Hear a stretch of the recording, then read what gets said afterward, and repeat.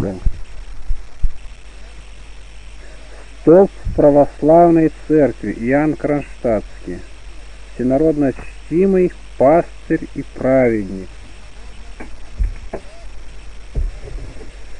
Это было в 1883 году.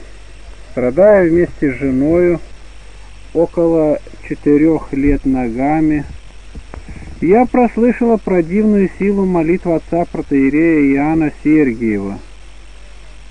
Тигунов разумел искреннее желание пригласить этого доброго пастыря к себе на квартиру, только не знал, как приступить к выполнению своего благого желания. Однако нашлись добрые люди, посоветовавшие родителям Тигунова предварительно повидаться с Ковригиной, которая вскоре же и посетила их, одобрила благое намерение, вызвалась сама посодействовать скорому приезду отца Иоанна, в то же время предупредив, чтобы они внимательно относились ко всем советам протоиерея, который в тот же день и приехал. Помолившись об их исцелении побеседовав о спасении души, отец Иоанн предложил болящим приехать в Кронштадт, на что они с радостью изъявили было свое согласие. Но неоднократно собираясь ехать в Кронштадт, они каждый раз были чем-либо отвлекаемы или задерживаемы. Да к тому же порешили, что и в Петербурге есть свои священники – об этом узнала Пороскева Ивановна и, придя к Сигуновым, настояла, чтобы они немедленно же ехали к отцу Иоанну, что было ими исполнено. Каково же было их удивление и стыд, когда они, подойдя к Кронштадт, в Кронштадте к отцу протеерею Сергию под благословение, не только не получили оного, но и были облечены им в сомнении и невнимательности к своей душе и небрежности к духовенству. Получив такой нравственно-поучительный урок и видя перед собой избранника Божия, проразумевающего сокровенные их помыслы, Тигуновы поспешили раскаяться в своем заблуждении и легкомыслии, и, получив прощение и наставление от отца Иоанна, сподобились приобщиться святых христовых тайн, пригласили прозорливого пастыря на квартиру помолиться и осветить воду, что добрый отец протоиерей с охотой и исполнил, видя полное их раскаяние. После этого, напутствуемые его благословением, они возвратились в Петербург исцеленными от своего недуга. С того же времени Тягунов вполне убедился в силе молитвы отца Иоанна Сергиева. Многие люди, стремясь к отцу Иоанну, но в то же время рабея и стесняясь его, откровеннее и проще могли объяснять о своих задушевных тайнах с Пороскевой Ивановною, которая была так близко по духу к досточтимому пастырю.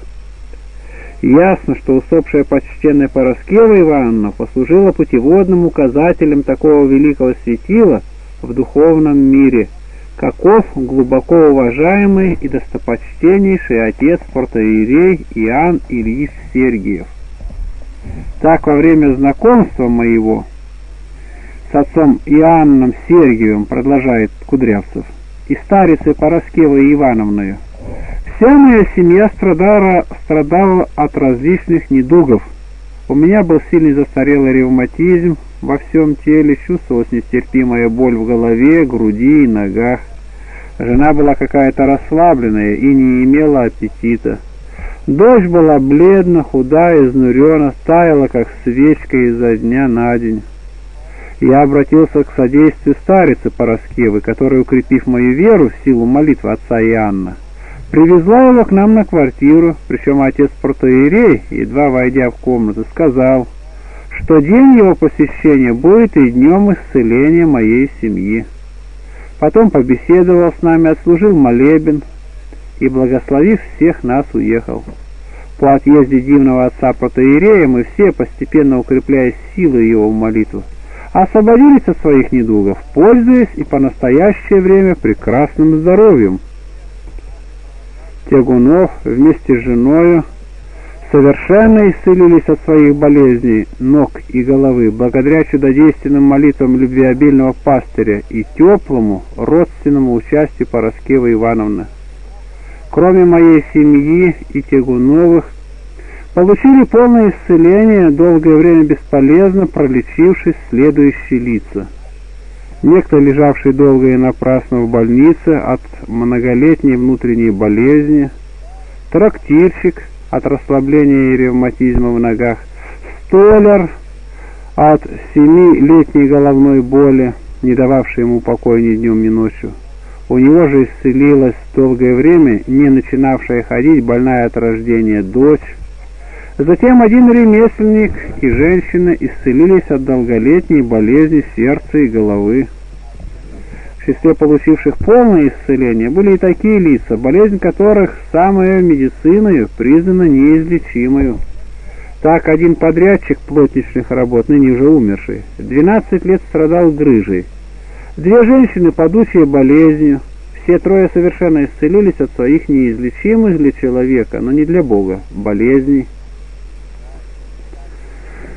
Все эти исцеления и благотворения совершились по богоугодным молитвам любвеобильного пастыря, а ключом, двигателем и путеводителем для всех этих людей была все та же преснопамятная и дивная по жизни старица Пороскева Ивановна Ковригина. Жена одного матроса, выданная не по взаимной любви замуж, ненавидела своего мужа, не слушая увещаний ни родных, ни знакомых, Жизнь ей была лишь в тягость. Так продолжалось два года, пока не привел ей Бог познакомиться с Пороскевой Ивановной, которая, очень сочувственно отнесясь к ее супружескому горю, посоветовала ей пригласить отца Яна Сергиева на квартиру. Добрый пастырь приехал, отслужил молебен, назидательно побеседовал с обоими супругами и перед отъездом своим благословил их, после чего жизнь их совершенно изменилась к лучшему. Они до сих пор живут в мире, любви и согласии. А когда солдатка это забеременела, то старица Пороскева предрекла ей, что у нее родится сын и ее крестник, что в точности вскоре избылось. Ревнуя о прославлении протеерея отца Иоанна Сергиева во всей России, Ковригина двигает благодарные сердца получивших исцеление и другие блага по молитвам отца Иоанна, а повестить обо всем этом верующему православному миру через газеты, возложив все хлопоты по этому делу на меня с Тягуновым. Благодаря нашим хлопотам в скором же времени самая популярная газета «Новое время», откликнувшись первой, 20 декабря 1983 года за номером 2807 напечатала благодарственное заявление, которое передается здесь целиком для большего удостоверения и назидания желающим на память потомству и вечную благодарность изобвенному отцу протеерею отца Сергию Иоанну, отцу и преснопамятной старице Пороскеве Ивановне. Благодарственное заявление. Мы, ниже подписавшиеся, считаем своим нравственным долгом засвидетельствовать искреннюю душевную благодарность протоиерею Андреевского собора, что в городе Кронштадте, отцу Иоанну Ильичу Сергиеву, за оказанное нам исцеление от многообразных и тяжких болезней, которыми мы страдали, и от которых ранее не могли нас исцелить медицинская помощь хотя некоторые из нас подолгу лежали в больницах и лечились у докторов. Но там, где слабые человеческие усилия являлись тщетными, оказалась спасительная и теплая вера во всемогущество Целителя всех зол и болезней, не спаславшего нам грешным помощь и исцеление через посредство достойного перед Господом благочестивого отца протоиерея, святыми и благотворными молитвами этого – так много заслужившего перед Верховным Зиждителем всех благ, подвижника. Все мы не только получили полное избавление от угнетавших нас недугов телесных, но некоторые из нас чудесно исцелились и от немощи нравственных, бесповоротно увлекавших их на путь порока и погибели. И теперь, укрепленные столь явным знаком Божьего к ним милосердия, почувствовали силы оставить прежнюю греховную жизнь и пребывать более твердыми на стези честного труда и богобоязненного поведения. Считаю особенно полезным для назидания многих в наше маловерное время заявить во всеобщее сведения о таковом видимом проявлении неустанно пекущегося о греховном человечестве всеблагого промысла Божия. Признаем неуклонным долгом перед лицом всех заявить свою глубокую благодарность столь много помогшему преподобному отцу протоиерею, прося его и на будущее время не забывать нас грешных в своих молитвах. Вместе с тем, стараясь памятовать, сами сообщаем и для других единственный преподанный нам многодостойным пастырем-исцелителем при наших к нему обращениях, высоковрачующий спасительный совет, жить по Божьей правде и как можно чаще приступать ко святому причастию.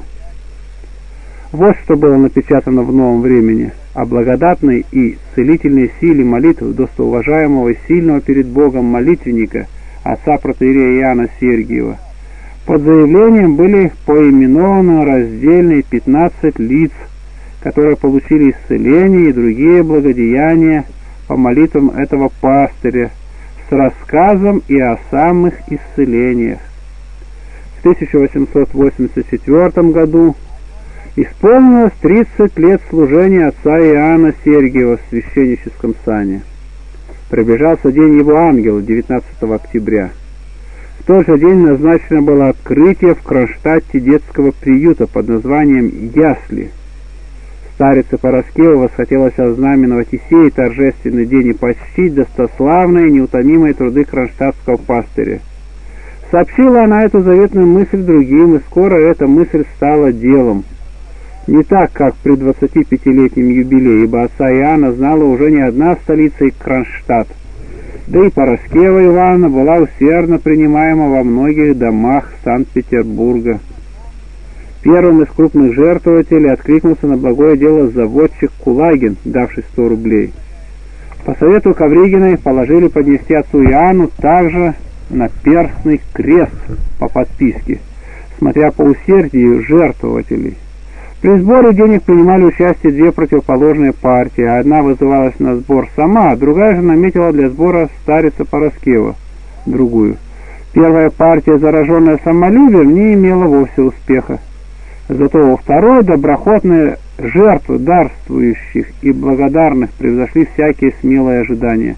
Намеревались поднести крест в 700 рублей, а собрали 2000 рублей. При поднесении креста отцу Иоанну необходимо было по принятому обычаю произнести какую-либо приветственную речь.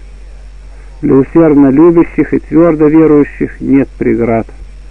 Старица, долго не думая и благословясь, обращается с просьбой о составлении речи к известному в столице проповеднику и магистру, отцу протеерею Вознесенской церкви Михайловскому, который сам благоговея перед отцом Иоанном как истинным и добрым пастырем, с радостным удовольствием исполнил нашу просьбу, помянув в речи также доброе участие Пороскева Ивановны в прославлении дивного пастыря.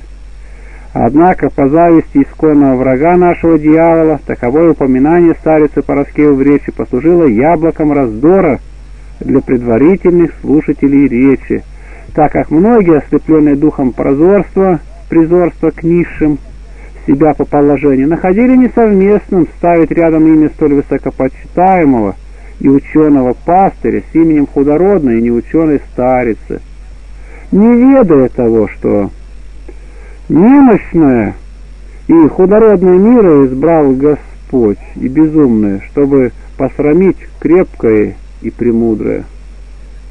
Спор был разрешен самим отцом Иоанном, который, духовно сроднившись мыслями со смиренной подвижницей, напротив, благодарил за упоминание имени Пороскева Ивану и требовал, чтобы имя ее было оставлено и непременно произнесено в речи, которая была отпечатана в Кронштадтском вестнике 21 октября 1984 года за номером 127. Содержание речи было следующее. «Ваше Высокопреподобие, глубоко уважаемый отец протеерея Иоанн Ильич, чувством благоговения, с сыновней радостью, как и всегда, предстоим перед вами и в настоящие минуты. Приветствую вас со днем вашего ангела чистого сердца. Мы просим Господа, да продлит Он дивную, дорогую всем верующим жизнь вашу на многие лета, во спасение вашего духа, во освящение, назидание исцеление обремененных и грехами многими, и недугами тяжкими. Настоящим днем мы пользуемся, чтобы выразить вам свою благодарность и искреннее уважение к вам. Не тайно, что вам, добрейший Отец наш, по вере вашей дается благодать целить недуг и язву в людях. Не тайно, что вашими молитвами расслабленные укрепляются, болезни проходят, бесы прогоняются, унылые утешаются, семейство умиротворяется, благоденствие в жизни иных водворяется, грешники закоснелые вразумляются, оставившие храмы, забывшие покаяние, надолго погрязшие в бездне беззаконий, со слезами блудного сына возвращены вашим влиянием на лоно матери церкви православной и ведут благочестивую жизнь.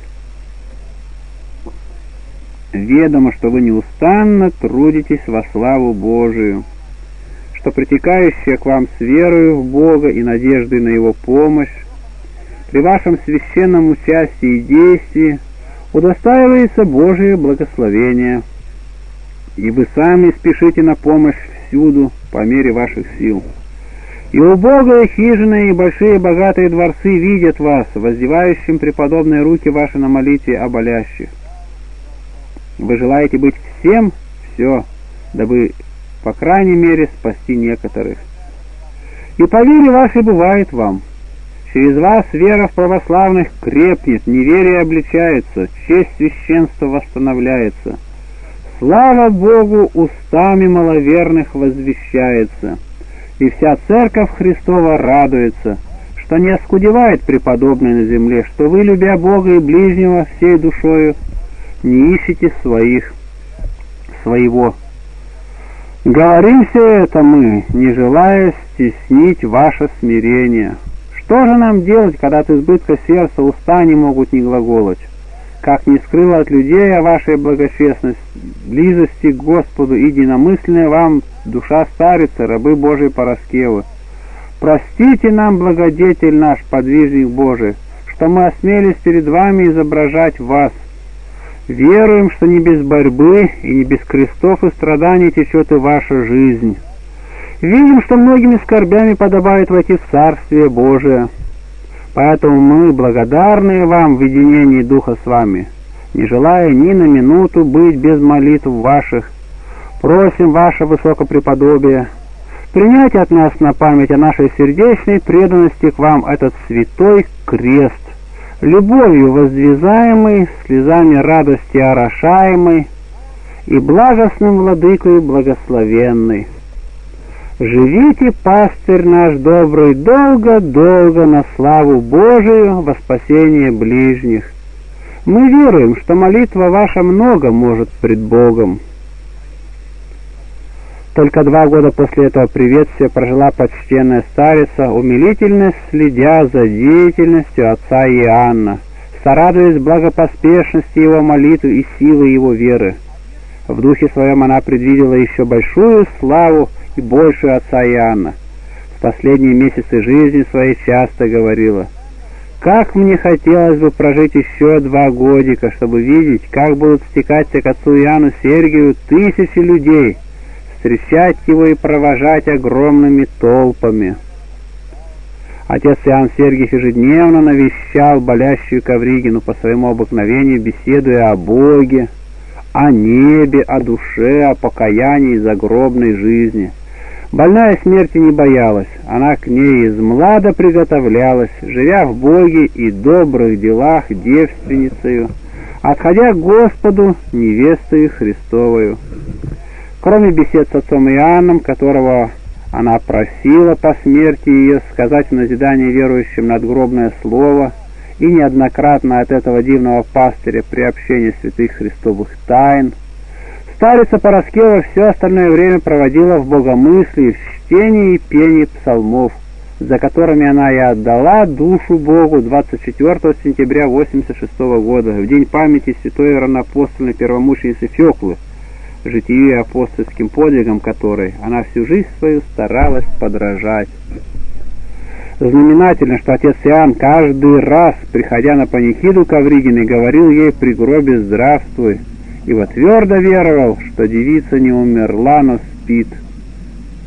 Погребение Пороскевы Ивановны было хотя и скромное, но слишком многолюдное. А отдать ей последний братский долг благодарность, благоговение и вознесение молитвенную память собрались не только все знавшие ее в Кронштадте почитатели, но и из Петербурга приехали многие, оставившие свои обычные, преимущественно торговые занятия. Так отошла ко Господу одна из современных нам подвижниц и в мире спасавшаяся, как голубица в ковчеге Ноевом. Над ней в точности исполнилось изречение святого Иоанна Богослова про самарянку Фатинию, что от града того многие уверовали в него по слову жены свидетельствующей. Да будет ей от нас вечная благодарность за достойнейшего отца протеерея Иоанна Ильича Сергиева, и память вечная ее прозорливости, смирению, терпению и любви к ближнему. Слово, сказанное протеереем Иоанном Ильичем Сергиевым на погребении девицы Пороскевы Ивановны Ковригиной в церкви при Доме Трудолюбия в Кронштадте 27 сентября 1886 года. «Не умерла девица, но спит», так сказал податель века и дыхание на земле, и начальник общего воскресения из мертвых человеческого рода, Господь Иисус Христос, когда его ввели в комнату, где лежала умершая дочь Иаира. «Девица не умерла, но спит», — сказал он, провидя победу свою над смертью, растлившую нашу природу и имевшая тот час последовать чудесное воскресение этой девицы из мертвых. Это же сказал бы Господь наш и теперь, если бы Он, видимо, пришел к нам и увидел сию умершую рабу свою Пороскеву. С уверенностью говорю это потому, что с одной стороны и в самом деле смерть наша со времени воскресения из мертвых Господа Иисуса Христа попрана и стала сном, успокоением от трудов для всех, вере и благочестии поживших и скончавшихся. С другой — и в особенности потому, что эта умершая почти всю жизнь провела так благочестиво и так благоплодно, что смерти, которую она предварила многократным исповеданием и приобщением святых тайн плоти и крови Христовых, действительно стало для нее утешением, сном упокоения от трудов. И я уповаю, что дух ее теперь радуется, сложив в себя бренную тяжелую оболочку плоти, радуется в уповании бессмертия и воздаяния по делам и созерцания славы лица Христова. Итак, прими от нас привет тебе, раба Божия Пороскева, от всех здесь собравшихся, с переходом твоим в страну бессмертия и вечной жизни, которой ты так всегда желала.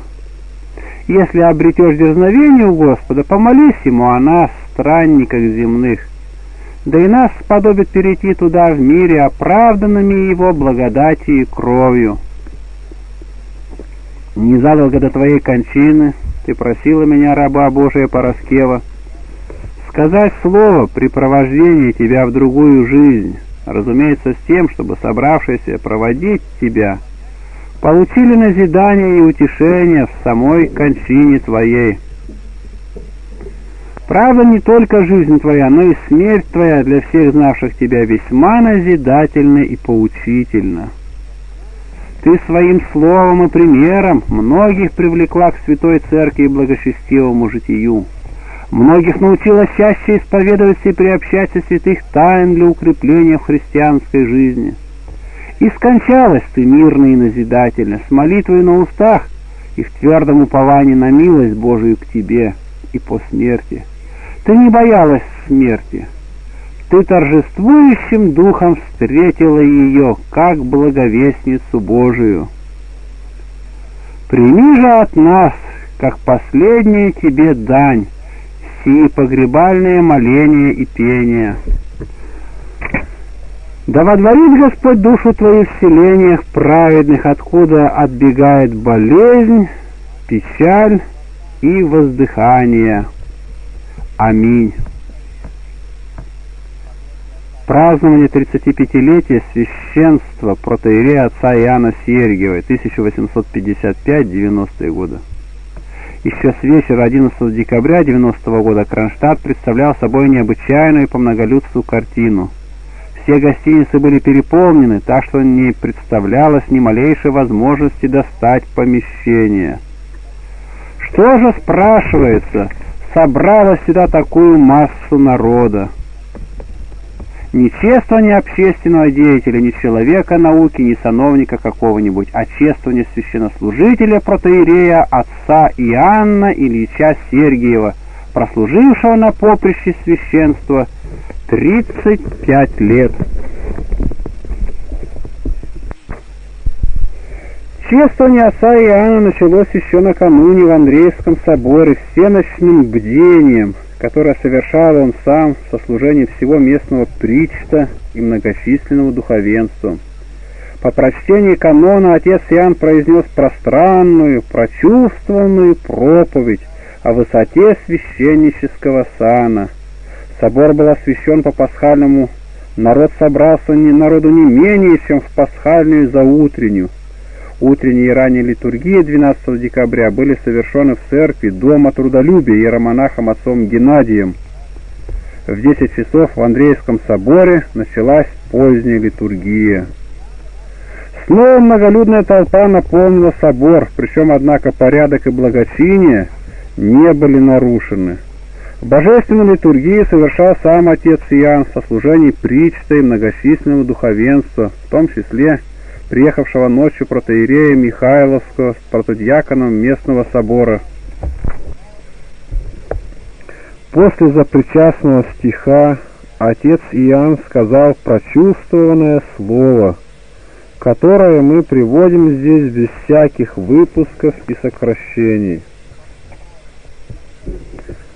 Что значит, возлюбленные братья и сестры, это необычное в будничный день торжественное собрание ваше в этом святом храме, посвященном имени первозванного апостола Христова?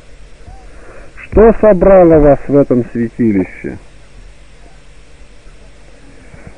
Не обинуясь скажу, что вас соединила и собрала вера и любовь ваша к Богу, а после Бога и ко мне, как служителю Его. По невыразимой милости Господа Бога ко мне грешному, по безмерному Его долготерпению, мне суждено дожить до дня, в который исполнилось 35 лет служения моего в сане священника при этом храме. Вы по снисходительной любви своей ко мне сочли не бесплодным для Церкви Божией и для вас этот немалый круг времени — и пришли вместе со мною возблагодарить Творца времен за несчетные милости Его ко мне и к вам, явленные в течение стольких лет через мое посильное служение Господу и вам, и просить продолжения их в будущем. Итак, сегодня у нас скромное торжество веры Церкви, торжество священства, пасторства и паствы торжество братского единодушия и христианской любви. Значит, и на нашем дворе праздник по присловию русскому. Слышим или читаем часто о праздниках разных учреждений, о праздниках людей науки, искусства и разных общественных служений. А ныне праздник церковный. Благодарю всем сердцем, всем существом моим Господа за Его милости ко мне — а вам всем мой сердечный поклон за братскую во Христе любовь. Вы в лице моем воздаете честь священному сану, коим почтила благодать Христова, подобных вам, немощных по природе людей, в том числе и меня. Честь, воздаваемая вами мне ныне, восходит к самому вечному первосвященнику, Господу нашему Иисусу Христу, за нас, осветившему себя и принесшему самого себя в жертву за нас, Отцу своему небесному. Ибо священство мое из всех освященных есть Христово священство, истинный вечный священник один, Христос, и в лице нашем священствует Он сам, вечный первосвященник по чину Мельхиседекову. Христе Боже, Ты сам прослави прославляющих нас, Твоих священников на земле, а нам, священникам, даруй благодать, достойно проходить высочайшее служение священства и самим всегда освящаться и других освящать и спасать данной нам благодатью. Вы собрались, возлюбленные братья, почтить меня недостойного дарами и похвалами. Благодарю сердечно за эти священные дары, разумею иконы и хоругвь святую. А похвалу вашу как я приму? Я по слову наставлению Христову есть раб непотребный, сделавший только то, что должно было сделать при пособии благодати, данной мне Господом. Да и сделал ли я все, что должен был сделать? По совести скажу, нет. Много недоставало в моем служении по внутреннему человеку, и вообще служение мое было не без недостатков. Мой долг сознавать это и просить снисхождения к моим недостаткам и милости у Господа, да и у вас снисхождения к моим немощам. Но желаю всем сердцем святыни и совершенства, и буду всеми силами с помощью Божией стремиться к исправлению и совершенству, ибо нам сказано «Будьте совершенны, как Отец ваш Небесный совершенен». Сильное впечатление произвела эта речь, сказанная не по-ораторски, но тепло и задушевно. После молебна, на который вышли 31 священник и 6 диаконов, начались подношения и чтение приветственных адресов. Первыми поздравляла юбиляра духовенства собора во главе с настоятелем Трачевским – преподнесшая ему дорогую икону с изображением святого Андрея Первозванного и преподобного Иоанна Рыльского, причем священником собора Клепачевским, было сказано сердечное слово, которое мы приводим полностью. «Ваше Высокопреподобие, Отец Иоанн, Ныне исполнилось тридцать пять лет со дня рукоположения твоего во к соборовному храму святого апостола Андрея Первозванного в городе Кронштадте. Премудрый раздаятель жребиев человеческих, не напрасно даровал тебе в удел священствовать и учить словом и примером жизни, во-первых, в храме, посвященном имени первого верующего апостола, предрекшего Отечеству нашему славное будущее в успехах веры и благочестия, во-вторых, в городе исторически и пространственно отрешенном от мест, в которых в силу апостольского пророчества воссияла слава угодников Божиих, Смиренным Божьим иереем пришел ты в город сей, к святому храму сему, и стал священствовать и учить, не в убедительных словах человеческой премудрости, но в простоте искренней веры, во всемогущую благодать Божию, сила которой в немощных совершается, и оскудевающая восполняет такой простоте твоей веры и благочестия шли долгие и долгие годы твоей живой, неусыпной, пасторской, законоучительской и общественной деятельности. Годы, исполненные и радости, и скорбей, восстания и падения духа, надежды на успех, проповедуемой тобой веры в Бога и любви к ближнему — Годы борьбы как с собственными немощами, так и с черствостью и загрубелостью сердец, обращаемых тобою к Богу, людей. Они шли до дня, когда слава твоих ежедневных, ежеминутных, молитвенных и деятельных подвигов стала достоянием сердец всех верующих сынов России. И вот город, так одиноко стоящий, исключительно служащий военным и коммерческим делам, благодаря твоему обитанию в нем делается предметом религиозного внимания и источником религиозно-нравственных утешений в такой степени, что храм наш при тебе расширенный и не без твоего участия украшенный, ныне не может вместить всех людей, в сердцах которых, быть может, в первый раз вожжена тобой искра веры в Бога и пробуждает потребность спасения. Недаром ты тридцать пять лет славословил апостола, предрекшего славу вере Христовой в Отечестве нашем. Прими же от нас твоих сослужителей по времени и месту, но слабых и немощных сотрудников по подвигам твоим, эту святую икону в знак нашего глубокого почтения к особе твоей. И молись пастырю начальнику, да даруй ты нам, немощным, силы к достойному прохождению служения Ему и достижению единого на потребу спасения себя и своих посомых.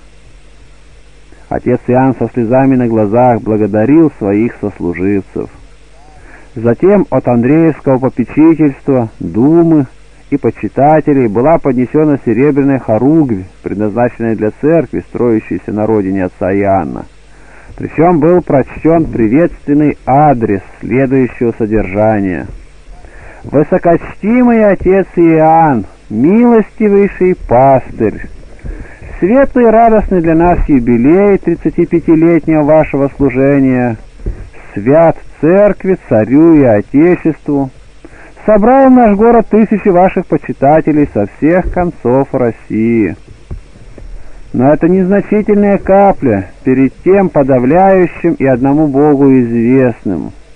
Числом вами возрожденных духовных чад, которые рассеяны по всему лицу земли русской, ее городам и весям, и для которых ваш юбилей — их духовное торжество. Здесь видим только слабое представление сравнительно с бесчисленным сонмом и живущих, и отошедших уже свидетелей перед Богом и людьми, тех благодатных даров и дел милосердия, которые излиты вами на нас и на них из неисчерпаемого источника вашей любви — и сострадание к скорбям и немощам людским.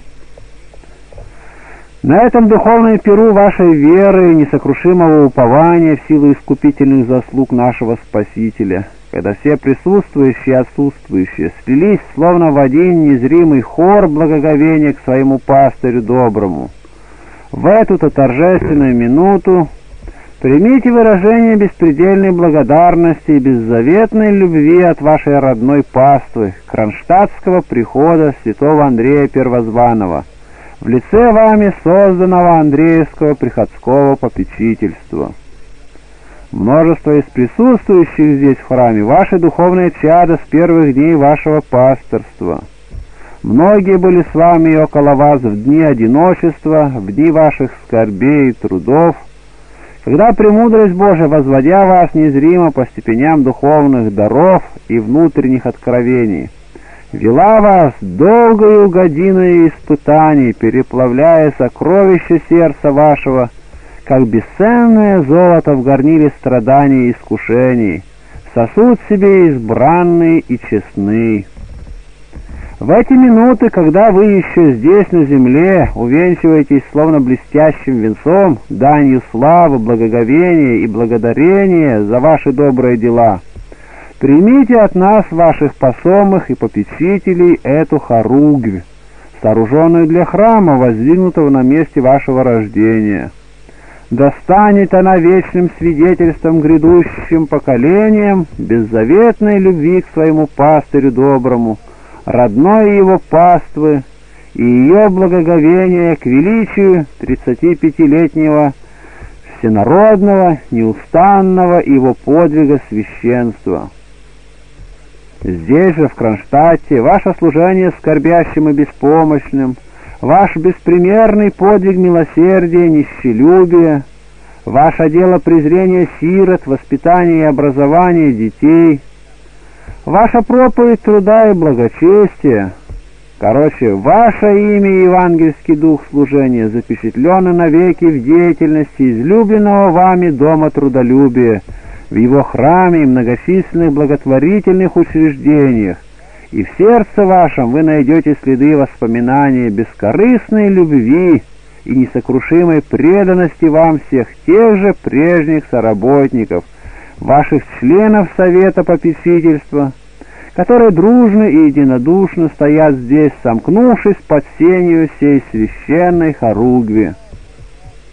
Адрес покрыт множеством подписей. Вслед за сим приветствовал отца Иоанна Протоиерея Михайловский от лица Петербургской братьи. Священник Карнацкий из депутации от Общества религиозно-нравственного просвещения в духе православной церкви поднес приветственный адрес в роскошном бархатном переплете. Вот что говорило это общество.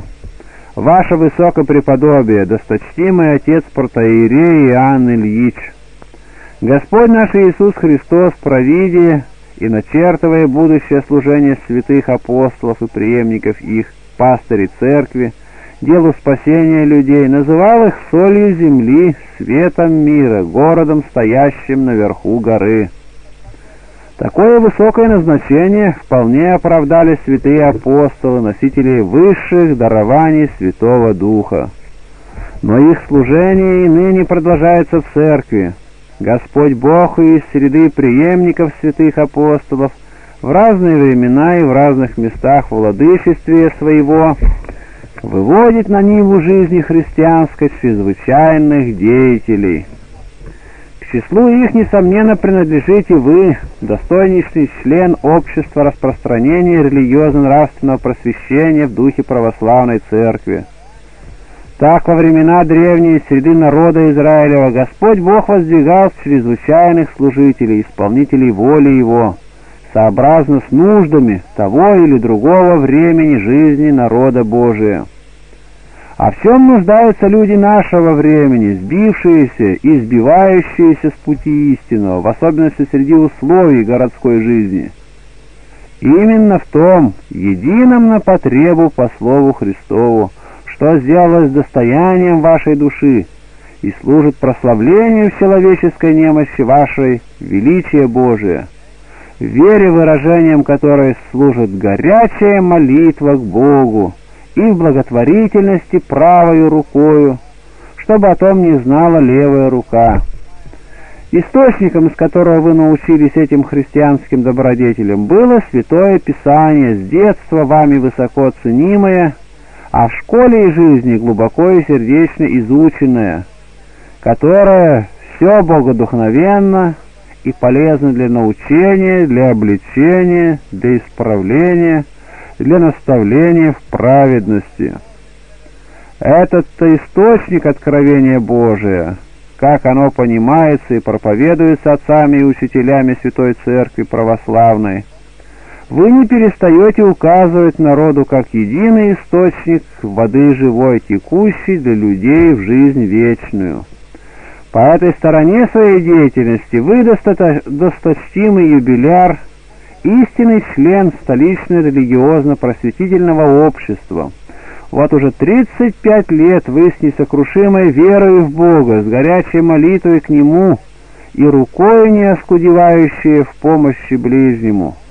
Служите подлинно солью, предохраняющей от нравственной порси и сохраняющей для Царствия Небесного те тысячи русских людей, которые со всех сторон нашей необъятной Родины и лично и заочно обращаются к вам. Тридцать пять лет вы, как чистая свеча, вожженная всемогущей десницей Всевышнего, ежедневно горите в молитве перед престолом Агнца непорочного, заколаемого за грехи мира, ходатайствуя перед ним за нищих духом плачущих, кротких, алчущих правды, обремененных жизнью, притекающих к вам с просьбами о назидании, утешении и поддержке. Тридцать пять лет вы, точно город наверху горы стоящий, влечете к себе, от себя и на путь добродетели, и далее к городу великого царя, Иерусалиму небесному, всех искателей спасения». Да будет же благословенно вам и через вас имя Господне. Приветствую вас в настоящий юбилейный день, досточтимый отец Иоанн. Совет Общества религиозно-нравственного просвещения в духе православной церкви молит Господа Бога, да сохранит Он вас своей благодатью во здравии и крепости сил душевных и телесных, на многие и многие годы во славу своего Пресвятого имени, в созидание святой своей церкви, на благо людям, нуждающимся в примере вашей веры, в молитвенной вашей помощи, а часто и в помощи материальной. Прочитано было следующее приветствие редактора русского паломника Поповицкого. «Милостливые господа, каждому из нас известно, что нашему высокочтимому юбиляру всеми и повсеместно присвоено наименование Кронштадтского. Многие не знают ни отчества его, ни фамилии. Для всех он отец Иоанн Кронштадтский. Почему? Конечно, потому, что место его постоянного пребывания и служения находится здесь, в этой первоклассной морской цитадели, так гостеприимно отворившей нам сегодня свои двери. Нечего говорить, что все мы, вне кронштадтские жители, завидуем нашим славным кронштадтцам. Они могут нам сказать, «У вас, отец Иоанн, только дорогой гость, а у нас он свой, потому что он кронштадтский». Но позвольте, господа, я хочу сказать, что несмотря на это наименование, отец Иоанн и наш, наш всецело, так же, как и ваш. Я хочу понимать это наименование в том же смысле, в котором некоторые наши герои и деятели получили наименование Ремникского, Смоленского, Амурского. Действительно, Кронштадт — это место доблестных подвигов отца Иоанна, место его нравственных завоеваний и побед. Здесь, в продолжении своей 35-летней деятельности, он воспитал несколько поколений русских юношей, внушив им высокие нравственно-религиозные правила. Здесь он совершил величайшие подвиги христианской благотворительности, едва ли где практиковавшиеся в таких грандиозных размерах. Здесь он приучил всех и каждого искренне и горячо молиться, сердечно и пламенно каяться, решительно и твердо выступать на путь добра и правды — Здесь, наконец, при неоднократных знамениях всемогущества Божия, орудием которых избрал его Бог, он всегда с настойчивостью указывал, что эти знамения составляют плод веры тех, на ком они обнаружились. И таким образом мало-помалу посевал в них семена такой добродетели, в которой особенно нуждается наш современный век – но, совершив все это здесь, отец Иоанн не замкнулся в тесный кружок небольшого города, и воды, окружающие здешний остров, не отрезали отца Иоанна от остальной России. Как герои смоленские, забалканские амурские своими подвигами оказали величайшие услуги всему Отечеству, так и герой Кронштадтский, расширяя свои нравственные завоевания далеко за пределы Кронштадта, является духовным воспитателем и вождем для всех о нем слышавших, для всех его призывающих. Его пасторские наставления и нравственно-религиозные уроки, здесь преподанные, например, безустанной пасторской деятельности, совершающейся здесь, высокие образцы христианской благотворительности, первым предметом которой служили кронштадтские бедняки – все это находит отзвук во всех русских сердцах, и воспринятое искренно не может не принести старицу своего плода. А то малое в зерно веры, которое он посеял здесь, разве не может разрастись великое дерево, которое листьями своими покроет всю русскую землю?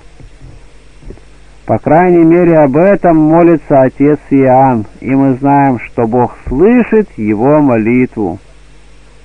Можно было бы удивляться необычайному обаянию, которое повсеместно окружает отца Иоанна. Но не мы, господа, станем удивляться ему. Если здесь хоть один человек, который бы не знал, что всюду, где является отец Иоанн, рассеивается мрак, утихает горе, покрывается нужда. Его кроткий и полный любви к ближнему взор проникает в самую глубь всякого сердца, ярко освещает темные закоулки духовной природы каждого из нас, уничтожает в ней всякое недоумение и страхи, проливает целебный бальзам в истерзанную душу, ободряет и утешает страждущих и скорбных. Кто из собравшихся к нему уходил без облегченного сердца, без восстановленного спокойствия духа, без радости или надежды? И все это совершается без всякой искусственности. Все так сердечно и просто. Такие свойства и действия отца Иоанна могут ли оставаться без обаятельного влияния на всех его окружающих, на всех, кто о нем слышал? Вот почему сотни и тысячи народа стекаются всюду, где появляется отец Иоанн. Всякому хочется получить от него благословение, взглянуть на него, прикоснуться к его одежде. Каждый из нас, господа, видел и знает это. Да и нынешнее наше собрание не доказывает ли всероссийского обаяния и значения отца Иоанна. Не видим ли мы здесь, что на 35-летний юбилей его пасторского служения откликнулась чуть не вся Россия, и что сюда прибыли почитатели его отовсюду, откуда только возможно было прибыть, а пункты отправления приветствия ему захватили огромный район нашего Отечества. Не правда ли же, господа, что отец Иоанн не только кронштадтский, но и все русский? И не признаете ли вы вполне уместным поднять бокал за здоровье отца Иоанна от лица всех русских людей? От города Харькова, который нынешним летом посетил отец Иоанн, был поднесен адрес господином Живержеевым с депутацией и роскошное на престольное Евангелие стоимостью более тысячи рублей. Сборщиком, посещающим Кронштадт, и романахом отцом Палладием было поднесено небольшое Евангелие в бархатном переплете и сказано несколько безыскусственных, но искренних слов. На все приветствия отец Иоанн выражал задушевную благодарность. После этого торжество было перенесено в церковь городской думы, куда перешел и юбиляр со всем духовенством. Там прежде всего совершили краткое молебствие, затем начались подношения от города. Городской голова господин Шибунин поднес адрес от местной думы.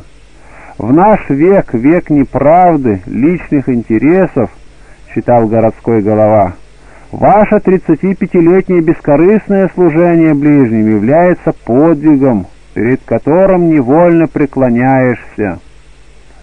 За этим следовали депутации от моряков с комендантом, адмиралом Брылкиным во главе, который прочел адрес, и местной гимназии с директором ее господином Козека во главе, произнесшим речь.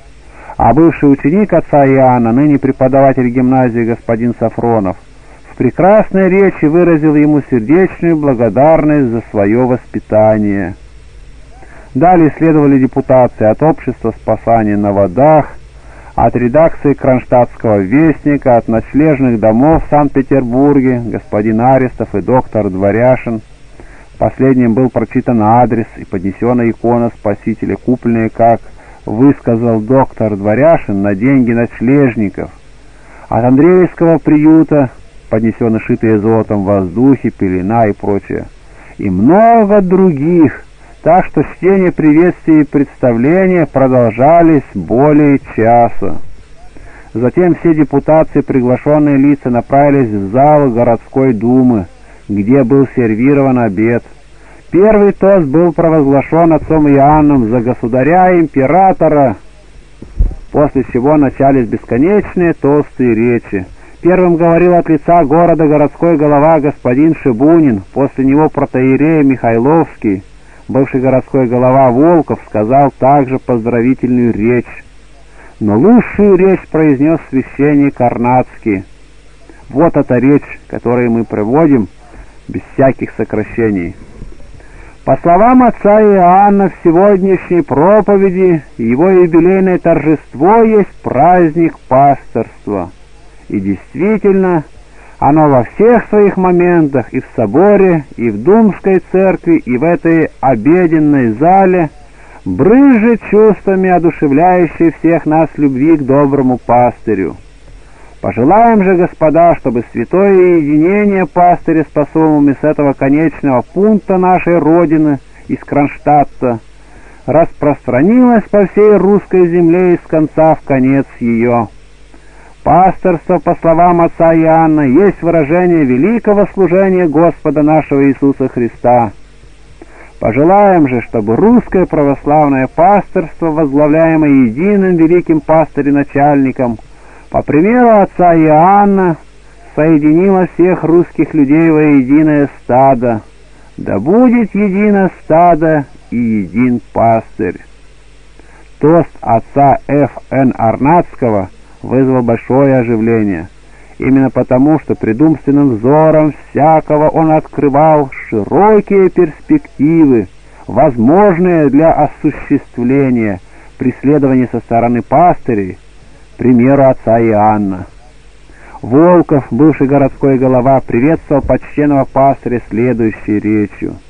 «Милостливые господа, сегодня на склоне нашего XIX века, века неверия и себелюбия по преимуществу, когда гордый человеческий ум, напыщенный своими великими открытиями, стремится занять первенствующее место и властно требует себе и только себе поклонения – Толпы людей со всех концов России пришли к нам в Кронштадт приветствовать не великого деятеля ума, не именитого государственного мужа, а скромного служителя алтаря Господня, 35 лет словом и делом проповедовавшего любовь к ближнему. Они сошлись к нам на сегодняшнее торжество в честь великого сердца – и великой любви христианской, в таком подавляющем числе, в каком никогда ни при каких юбилеях не сходились. И эти толпы правы. Любовь христианская, любовь к ближнему есть то зиждительное, связующее начало, тот цемент, которым скрепляются все отдельные постройки ума человеческого — без животворного веяния которого распадаются они в мертвенном бессилии. Любовь христианская есть сама истина, правда, воплощенная в делах. Великому сердцу, следовательно, как носители ее, и давлеет преимущественное поклонение. Нам, русским, такое чествование любвеобильных дел должно быть особенно дорого — так как мы, отставшие в умственном развитии от остальной Европы, без всякой похвальбы можем сказать, что всегда превосходили ее в делах сердца и любви. Только воодушевленные ею с Христом в душе, в силу могучей любви к родине и престолу, составляющей одно из проявлений ее, сплоченные ею, могли мы победоносно перенести такое бедствие, как татарская ига, можем мириться с окружающей нас беднотою. Да не подумают, однако, здесь присутствующие, что противопоставляя любвеобильность русского сердца западному рационализму и формализму, я вижу в ней залог неподвижности и застоя. Нет, тысячу раз нет. Тот, кто так думает о русском сердце, тот уже клевещет на него. Напротив того, вследствие своей мягкости, терпимости, оно доступно каждому благому учению. Но для каждого из них оно есть и будет тем очищающим горнилом, через которое только и могут проникнуть к нам все великоумственные работы Запада. Словом, русскому сердцу всегда любо было торжество духа над мертвой формою, что и составляло его силу. И вот один из воплотивших в себе эту народную идею присутствует среди нас. Так, без шума, со смирением, не облекая ни в какие поражающие своей внешностью формы, делает он в течение 35 лет свое любвеобильное дело. Временами тяжко, очень тяжко приходилось ему. Его не понимали, в нем видели незваного учителя, обличающего своими делами других, Его осуждали, злословили, но он, как русский человек, не озлоблялся на своих недругов, своих гонителей, с Христом в душе, с прощением на устах, воспламеняемой божественной искрою, он шел все вперед по разномеченному пути, не останавливаясь, не уступая, и победил. Сегодня кругом его уже нет недругов, есть только одни друзья и почитатели. Он сделался предметом народного обожания. Какой умиротворяющий, обнадеживающий в печали, в несчастье пример является собой даже эта внешняя сторона жизни досточтимого юбиляра. При этом воспоминании невольно сама собой поднимается заздравная чаша, невольно вырывается клич «Да здравствует великий утешитель печали!» Воскликнем также и мы «Да здравствует на многие лета достоуважаемый отец Иоанн!» Доктор Дворяшин сказал несколько слов о той любви, которая горит в отце Иоанне а после него говорил директор гимназии господин Казека. Почти в конце обеда член общества религиозно-нравственного просвещения в духе православной церкви Зыбин обратился к отцу Иоанну со следующими словами. «Тридцать пять лет прошло с тех пор, высокочтимый отец Иоанн, как великий первопастырь Господь наш Иисус Христос призвал тебя быть служителем слова и пастырем овец стада словесного» благодарение Ему всещедрому. Многоразличными дарованиями Он наградил тебя, силой любви, силой веры, силой убеждения и особенно великим даром, даром молитвы и даже даром исцеления. И ты, как истинный делатель жатвы Его, не зарыл данные таланты, а ежечасно, ежеминутно пользуешься ими для блага ближних в окружавшей тебя жизни. Первых дней священства ты сознал всю высоту сана священнического, глубоко сознал ту великую ответственность, которую каждый священник по прохождении своего земного пути несет перед престолом великого первосвященника и Господа не только за себя, но и за свою паству. Помни и сознавая все это, ты с первых дней священства стал пастырем истинным, пастырем добрым. Каждый день в продолжении всего 35-летнего служения ты, совершив бескровную жертву, соединившись с Господом, не щадя ни сил, ни здоровья, отдавал всего себя на служение ближним – шел и в подвалы бедняков, и во дворцы сановников, и там и тут молился о болящих, ободрял павших духом, наставлял, плакал с плачущими, радовался с радующимися. Одним словом, по выражению апостола, немощи немощных носил и тем исполнял закон Христов. И вот, вглядываясь в твою прошедшую деятельность, невольно приходит на мысль слова апостола. «Сила Божия в немощи совершается». Да, и она дивно совершалась в тебе в продолжении твоего 35-летнего служения. И эти многие тысячи бедняков, которых с помощью Божией ты накормил, согрел, эти образцовые благотворительные учреждения и, наконец, длинный ряд исцелений душевных и телесных, совершившихся по Твоей молитве, через призывание причудного и спасительного имени Иисуса Христа, есть ли отражение той божественной благодати, которая, повторяю, в немощи Твоей совершалась и совершается теперь? благодарение Вседержителю за те несчетные дары, которые Он посылал и посылает тебе.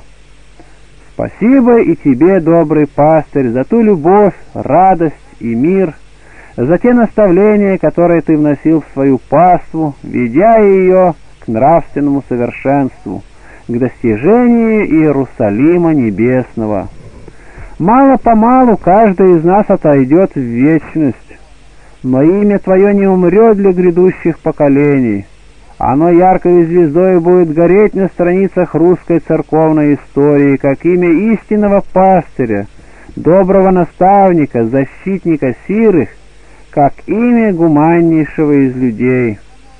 Да воздай же тебе, великий первопастырь и первосвященник, по богатству славы своей, и да тебе здоровье, крепость и силы к продолжению служения пастырского, а в нас да зажжет искру той любви, которая горит в сердце твоем к Нему единому, за нас распятому, и к ближним, за которых ты по образу Его, великого архиерея, полагаешь душу твою. Да пошлет Он тебе многие, многие лета. После Зыбина говорили многие другие лица. Обед имел в высшей степени оживленный характер и был проникнут общим чувством любви. На обеде присутствовало все соборное духовенство с маститым настоятелем Трачевским, городское духовенство и приезжее, а также много высокопоставленных лиц. Обед окончился около пяти часов. Оставя гостей, отец Иоанн отправился в Дом Трудолюбия, в зале которого был сервирован скромный обед, более чем 200 человек, петербургскими почитателями и почитательницами. Снова начались подношения. В роскошном малиновом бархатном переплете был поднесен адрес от петербургских почитательниц, букет цветов и еще несколько подарков и адресов. Здесь присутствовали более простые люди, но в них заметно было столько радости и единодушия, что обед прошел не менее оживленно, составляя как бы общую семью, что и высказали произносившие здесь речи миссионер отец Арсений и Зыбин.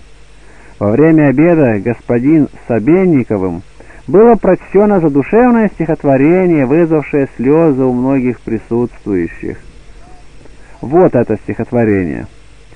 Ты тридцать пять лет прослужил уже Богу, и тридцать пять лет ты народу служил. Ты трудную выбрал для жизни дорогу, и много на ней своих сил положил. Ни разу с прямой не свернул ты дороги, шел прямо и верил, Бог помощь пошлет. И ныли от боли уставшие ноги, болела душа за несчастный народ — сжималось сердце при виде порока, тяжелых недугов народных и бед. Ты видел, что зло и неправда широко туманом покрыли Христовый рассвет. Ты шел, и немало за прошлое время препятствий встречалось на верном пути, но ты победил их, и доброе семя посеял, чтоб правде Христовой цвести и гордости, славе, корысти, богатству открыл затуманенный завистью взор, и доступ свободный дал к падшему братству, чтоб снять с того братства весь сложный позор. А вспомни-ка детство, оно как бежало, и как ты тогда-то учительно жил, как жизнь среди лишений и горя мужала, народу Господь знать тебя сохранил. По зебрям ли севера в зной и морозы Дитятию грустным ходил да мечтал. Зачем это люди льют слезы да слезы? И кто эти слезы на землю послал? Зачем это с горем нужда породнилась И мучит собой несчастных людей? Не знал ты причины, но все объяснилось на опыте жизни тяжелой твоей святого же детства всю соль впечатления уж юность душой и умом поняла. На вере святой и Христовом учении свое убеждение навек создала. Но детство прошло, невозвратные годы. За детством и юность сокрылась давно, И канули в вечность великой природы, Откуда вернуться уж им не дано. И время покорно законом бежало, Из юноши ты укреплялся, мужал. Хоть горькая доля тебя окружала, Но личного счастья ты не искал. Лишь сильно рвалась душа молодая На помощь страдальцам и сирым прийти. И скорбью народной жестоко страдая, Решился, решилась в жертву себя принести. Ей больно, сказались народные беды, и горько ей было беспомощной жить. Тогда ты взял крест, как знамя победы, пошел всем страдальцам и сирым служить. И тридцать пять лет это знамя тобою добром освещается изо дня в день, любовью, трудом, состраданием, мольбою за всех, кто приходит под знамени сень. Так жил ты для мира, себя забывая, и крест свой тяжелый безропотно нес. Хоть медленно падает скорбь мировая, но падает, рушится, силен Христос. А Он — твоя крепость, учитель и сила. И Он тебе мудрость с любовью вложил. И сила-то в мире любовь воскресила, а этой любовью ты всех победил. Но солнце уж к западу жизни склонилось, пройдя свой могучий и сильный зенит, а в силе своей оно вновь подкрепилось, любовью и правдой яснее горит. Родного же севера в красное лето несказанно длинен бывает денек, и долго за полдень могучего света там солнце лучей проливает поток. Сияй же и ты так здоровьем и силой, будь крепок, спокоен, а знамя Христа не дрогнет в руке твоей чистой, правдивой, сильна душа верой, делами чиста. Живи же, наш добрый, родной и любимый, своей простотой ты нас вразумляй. И крест твой тяжелый, целебный, незримый, потомкам на благо их жизни отдай. Обед окончился в седьмом часу. Около дома трудолюбия стояли толпы народа, ожидавшие отъезда отца Иоанна. Не забыты по обыкновению были и бедняки, для которых устроен был обед на 700 человек из двух блюд. В этот день отцом Иоанном было получено из столицы с разных концов России множество поздравительных телеграмм от разных лиц, высокопоставленных и простых, духовных и светских. Не можем не привести полностью одну из телеграмм, отличающуюся особенной задушевностью, а именно телеграмму благотворительного петербургского братства преподобного Сергия, присланную председателем братства генерал-лейтенантом Лошкаревым. Высокочтимый отец Иоанн, светильник веры не под спудом, а на свечнице церкви поставленный, бессребренник — неустающий утешитель бедствующих, свет и хвала православия, верный слуга Господень. Примите привет братства святого Сергия и помолитесь о спасении нашем. Редко приходится видеть такое единодушие на подобных торжествах, какое наблюдалось на празднестве 35-летия священства отца Иоанна. Это было действительно торжество пасторства и единение пастыря с посомами, торжество веры и православия, как выразился в своей речи священник Карнацкий. Или лучше сказать, прибавим мы, это было торжество любви Христовой, которое все побеждает, все покрывает, которое гонимых и немощных делает сильными и к ним привлекает сердца сила Божия в немощах совершается. Глава 7. Страница 177. Высота всероссийской славы отца Иоанна. Высочайший вызов его в Ливадию для молитвы и напутствования государя-императора Александра Третьего мы видели, какой великой славы стал сподобляться от Господа великий молитвенник за землю русскую. Его узнала вся Россия, и он стал получать отовсюду, даже из отдаленных мест России, многочисленные приглашения приехать и помолиться. Вся Россия стала озаряться его славой, подобно храму, наполняющемуся благоуханием от кадила с семиамом. Во многих местах России получались его щедрые лепты на храмы, на церковно-приходские школы, благотворительные учреждения и тому подобное. Многие места России были облагодетельствованы его личными посещениями и молитвами. Вся Россия украшалась его портретами, которые помещались к иконам наравне с царскими. В своих путешествиях по земле русской я встречал, говорит Круглов, портреты отца Иоанна и в роскошных кабинетах, и в крестьянских лачугах. Они повешены на почетном месте, куда вешает простой человек только тех, кто ему дорог. Мне пришлось быть у одного зажиточного крестьянина Саратовской губернии.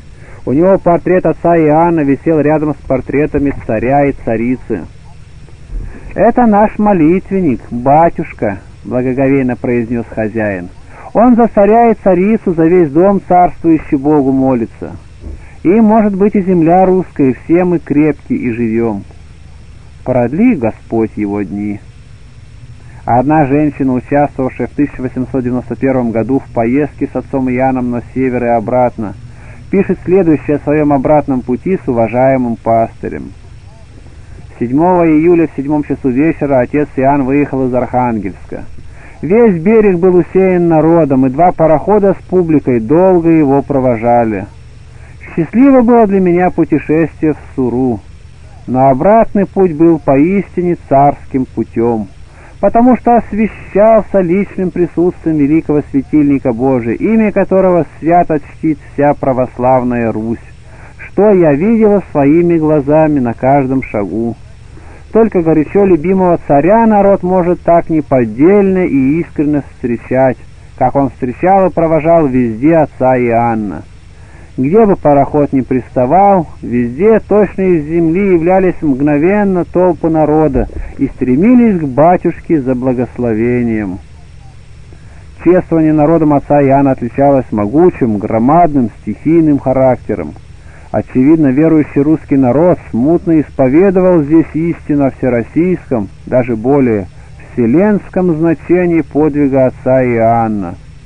На отце Иоанне сбылись слова, которыми церковь ублажает святого Василия Великого. «Во всю землю изыди вещание Твое, яко приемшую слово Твое, царское священие, отче преподобне». В то время царствовал преснопамятный государь, император Александр III. Государь Александр III был могучий не только политической, но и церковной, духовно-нравственной силой русского народа. Не будем перечислять здесь его многочисленных важных государственных дел. Напомним здесь о его великих заслугах для православия. Вспомним его заботу об улучшении быта духовенства, о религиозном просвещении народа через церковно-приходские школы, забота о распространении православия среди империи и так далее. Православная русская церковь никогда не забудет в своих молитвах великого государя императора Александра III. С именем его связан особый светлый момент в ее жизни. Почивший государь был в полном смысле благочестивейшим государем, не только искренним, верным, послушным сыном православной церкви, хранителем и выполнителем ее уставов, но и ревностным, твердым, неослабным покровителем ее и в многоразличных ее нуждах и затруднениях, защитником православной веры от нареканий ее врагов, поборником в деле распространения православия среди иноверцев и инородцев.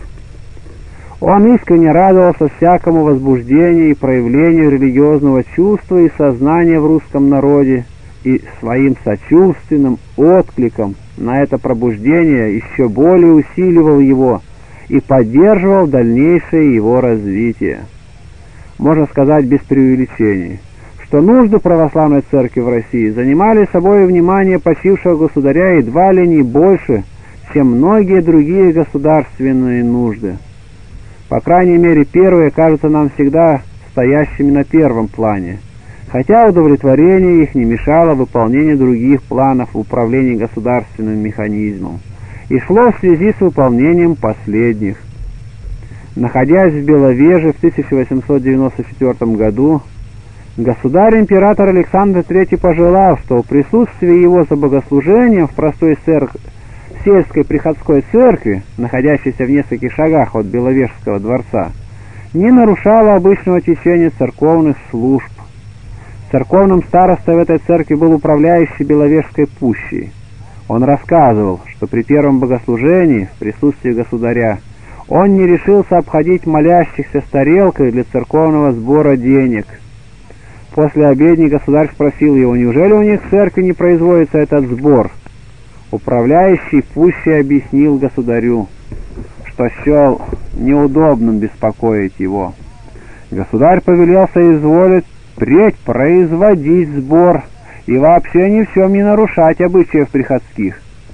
Следующие службы церковный староста с тарелкой, а за ним церковный сторож с кружкой обходили всю церковь.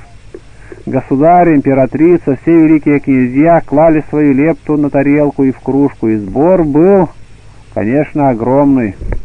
Рядом с червонцами лежали на тарелке пяти- и трехрублевые бумажки и медные пятаки и гроши крестьян. Перед образами теплились толстые рублевые восковые свечи и крохотные желтого воска свечи, очевидно, приношение царской семьи и крестьян. В конце обедни государь подходил ко кресту, и священник вручал ему просуру, как бывало это делалось в сельских церквах. Великая ревность благочестивого монарха императора Александра III православной вере о распространении религиозного просвещения среди народа была увенчана великой наградой от самого царя неба и земли Господа Вседержителя.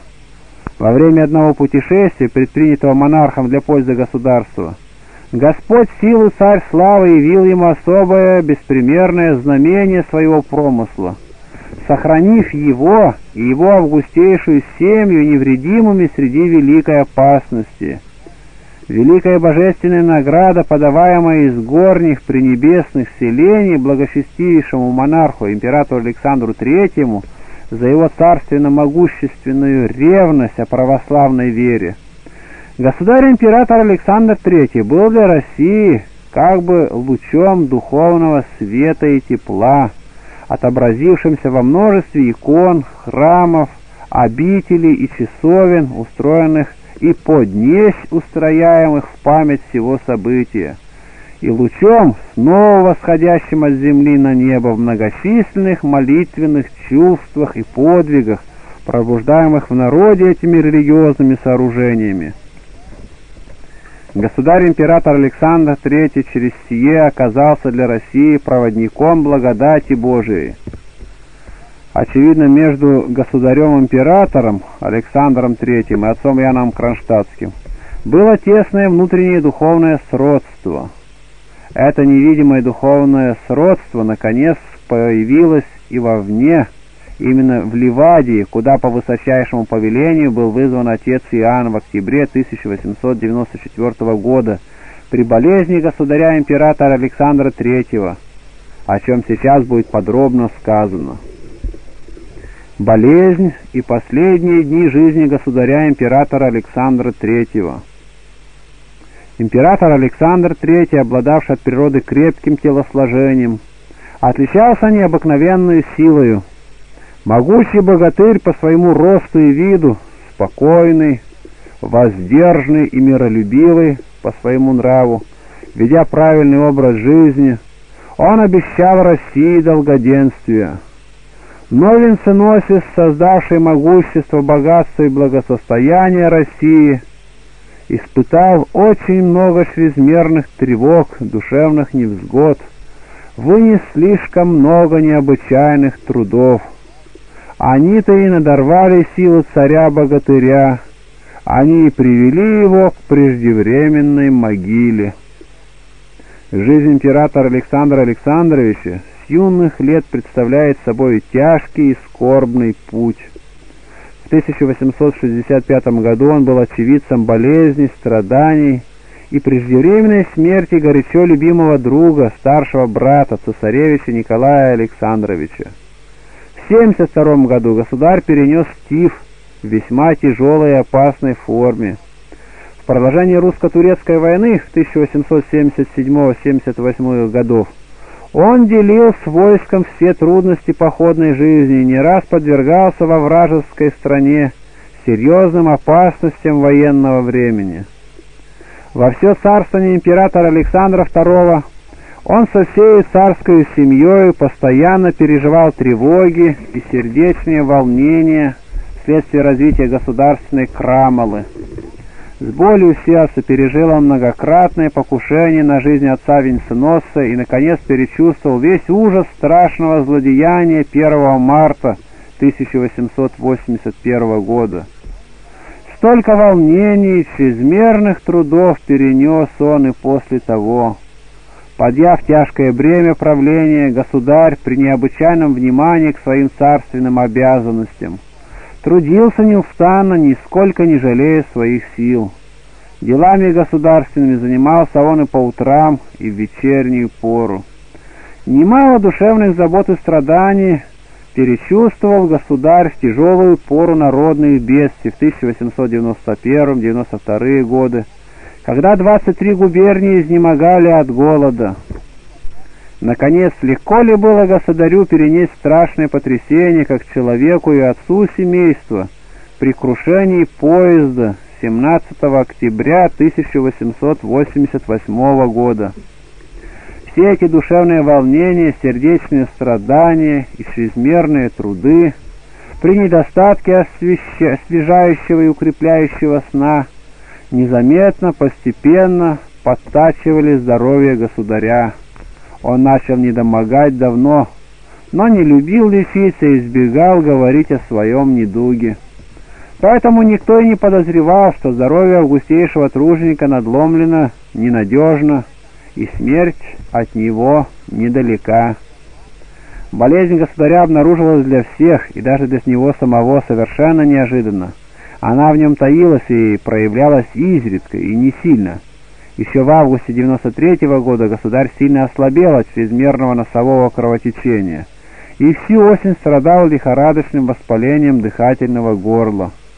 В январе 94 -го года у императора была сильная инфлюенса, начавшаяся сильными сердечными припадками, на которые он не обращал внимания. Между тем, это был уже третий приступ болезни. Профессор Захарьин лечивший государя, обратил внимание августейшего больного на крайнюю необходимость не утомлять себя занятиями, давать себе более времени для сна и избегать простуды. Затем он осматривал государя в начале июня и нашел его в хорошем состоянии. Но уже в начале июля здоровье государя так ухудшилось, что подняло тревогу среди окружающих. Профессор Захарин, призванный в Петербург, нашел у больного признаки болезни почек и последовательного поражения сердца. Император страдал бессонницей, ощущал постоянно дурной вкус и нередко чувствовал тошноту. Положение царственного страдальца внушало крайнее опасение. В августе врачи представили ему свое заключение о постигшем его недуге. Они, правда, смягчили свой приговор относительно рокового значения болезни монарха, однако не скрыли, что проходит она в высшей степени редко, и что поправление здоровья и продолжение сохранения жизни возможно лишь при строжайшем соблюдении известных условий и предписанного образа жизни. Условия же и образ жизни государя, по свидетельству профессора Захарина, со времени январской инфлюенции – были прежние, постоянное утомление умственными занятиями, недостаточный сон и частое пребывание на воздухе во всякую погоду. Итак, стало очевидно, что на выздоровление государя-императора уже не было никакой надежды. Роковое же влияние на развитие недуга, на быстрый ход болезни, приведший к смерти, имело крайне холодное и сырое лето 94 -го года.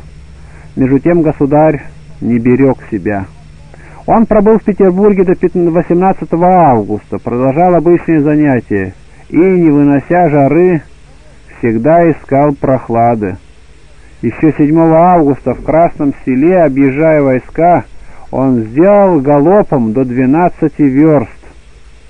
Велики и разнообразны были труды царя-самодержца, и высоки были у него понятия о царских обязанностях, о долге монарха. Император держался того убеждения, что он должен быть постоянно бодр и всегда деятелен. Свой долг перед государством царь ставил на первом плане. И продолжал трудиться, не обращая внимания на свой недуг. Полагаясь всецело на промысел Божий, без воли которого ничего не совершается, государь предоставил себя на волю Божию, и пока еще чувствовал в себе силы, отдавался служению России, не жалея своих сил. В то же время он употреблял невероятные усилия, чтобы казаться здоровым, спокойным и не тревожить близких к себе лиц. Таково было нравственное состояние государя в это время. Таким же оно оставалось и во все время дальнейшего развития болезни до самой его кончины. Между тем последующие обстоятельства складывались не в пользу августейшего больного. Переезд государя из Петергофа на юго-запад России, где он обычно проводил осень, не сопровождался ожидаемыми последствиями. В Беловеже, куда отправился государь 18 августа, погода стояла сырая, неблагоприятная для его болезни. Затем в Спале, куда приехал государь, погода была свежая, холодная. Обстоятельства эти требовали большой осторожности со стороны августейшего больного. Между тем в Беловеже и в спали, государь забывал наставления врачей. Вследствие привычки к движению на свежем воздухе он постоянно искал прохлады и проводил время по большей части под открытым небом. Охота в спале среди болот еще более ослабила императора. Болезненные явления усилились и побудили врачей ускорить отъезд государя в теплый климат Южного Крыма. По настоянию докторов государь немедленно отбыл из Павла в Севастополь, откуда отправился на пароходе добровольного флота «Орел» в Ялту и затем прибыл в Ливадию. Продолжительный переезд по железной дороге в Севастополь, езда на пароходе, равно церемонии встреч в Севастополе и Ялте, утомили больного царя. Он сильно похудел и пожелтел. В Ялте, выйдя на пристань, он принял почетный караул, сказал несколько слов лицам, участвовавшим во встрече, и направился к экипажу под руку с государиней императрицей, которая заботливо поддерживала его. В Ливаде, куда прибыли их величество 21 сентября, государь и царская семья заняли малый дворец, где государь проживал, будучи еще наследником цесаревичем. Когда в Ливадию стехались другие высочайшие особы, им отведено было помещение в Большом дворце. Погода в Ялте и Ливадии стояла прекрасная, какая редко бывает там в октябре месяце. Небо часто бывало облачным, но дни были тихие и теплые. Тем не менее, наблюдательные люди полагали, что такая погода продержится недолго. В обществе говорили, что врачи предлагают остров Корфу в Ионическом архипелаге, как зимнюю станцию для августейшего больного. Но мысль расстаться с Россией, по-видимому, была чрезвычайно тяжела больному, и государь-император на предложение врачей ответил, что никогда не оставит Россию. Так горячо любил он свою страну, что даже забота о здоровье не могла заставить его примириться с временной разлукой со своим народом. Первые дни пребывания в Ливаде были для государя временем необходимого отдыха. Вскоре он почувствовал себя лучше. В воскресенье 25 сентября, в день преподобного Сергия, был он в придворной церкви за литургией, и после того ездил в Айтадор к великой княгине Ксении Александровне. В последующие дни совершил государь несколько прогулок в экипаже, посетив, между прочим, Массандру. Но вскоре обнаружились у больного признаки ослабления, утрата аппетита и сна – упадок деятельности сердца и опухоль ног.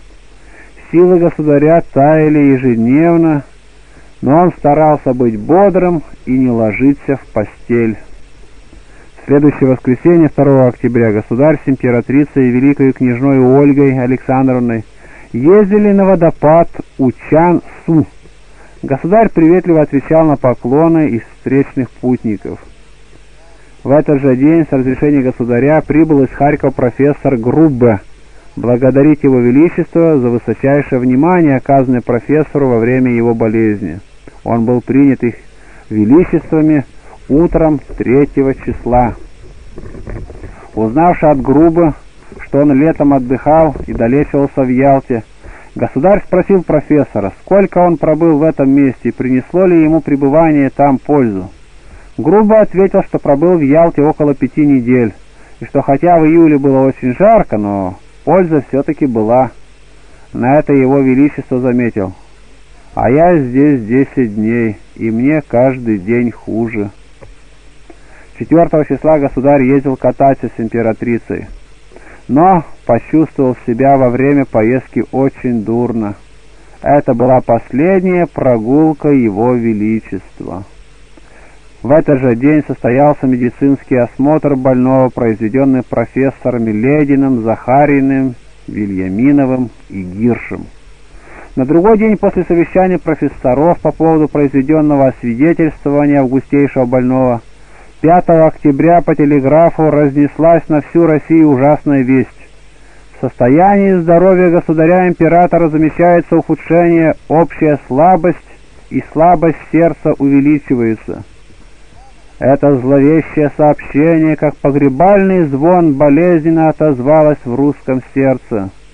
Сразу все почувствовали, что России грозит невообразимое несчастье. Страшное предчувствие скоро начало подтверждаться дальнейшими малоутешительными известиями о недуге государя. С этих пор падение сил и ухудшение болезни шли нерав... неравно. Иногда августейшему больному чувствовалось легче, но затем становилось тяжелее прежнего. 6 октября перемены не было в состоянии здоровья государя, но на седьмое число ночь прошла у него почти без сна. Утром и днем отек ног, показавшийся в последнее время, увеличился. Общая слабость и деятельность сердца продолжали оставаться в прежнем состоянии. 8 октября в субботу государь немного почевал, аппетит и самочувствие были несколько лучше. В этот день и следующий за ним заметен был у больного некоторый подъем сил. 8 числа ожидался в Ливадии приезд ее Величества королевы Еленов Ольги Константиновны и августейшей матери ее великой княгини Александры Иосифовны. Ее высочеству пришла благодетельная мысль пригласить с собой глубоко чтимого кронштадтского пастыря отца Иоанна Сергиева. В девять часов утра прибыли они в Ялту на военном корабле «Память Меркурия», Августейшие особо встречены были на пристани его императорским высочеством, наследником цесаревичем, а пастырь-молитвенник, отец Иоанн, отправился прямо в малую церковь при дворце служить за здравную обедню. При проезде любимого пастыря через Ялту со всех сторон неслись навстречу ему благожелания и благословения – а ясный и радостный вид его оживлял всеобщие надежды на милость Божию и на действенную силу всенародной молитвы о болящем царе. По просьбе населения отец Иоанн затем ежедневно служил в Ялте и в окрестных селениях божественную литургию. Несметные толпы стекались к нему на молитву. Вечером в тот же день прибыли в Ливаде августейшие братья государя, великие князья, Сергий Павел Александровичи. Весть о пребывании отца Иоанна в Крыму быстро распространилась по всему округу, и скоро дом, где он жил, начал осаждаться народом, стремившимся увидать уважаемого пастыря. Преобладающим элементом, разумеется, были русские, но немало замечалось там же и татар, караимов, являвшихся, конечно, не ради одного любопытства. Толпа начинала сбираться обыкновенно часам часов с трех ночи и дежурила до шести, когда в подъезде появлялся батюшка, уделявший продолжительное время на прием всех жаждавших получить его благословение. И народцы подходили к нему последними, и так же, как русские, смиренно преклоняли головы. Отец Иоанн возлагал на них свои руки и расспрашивал их о нуждах, горестях, отнюдь не касаясь вопроса о религии.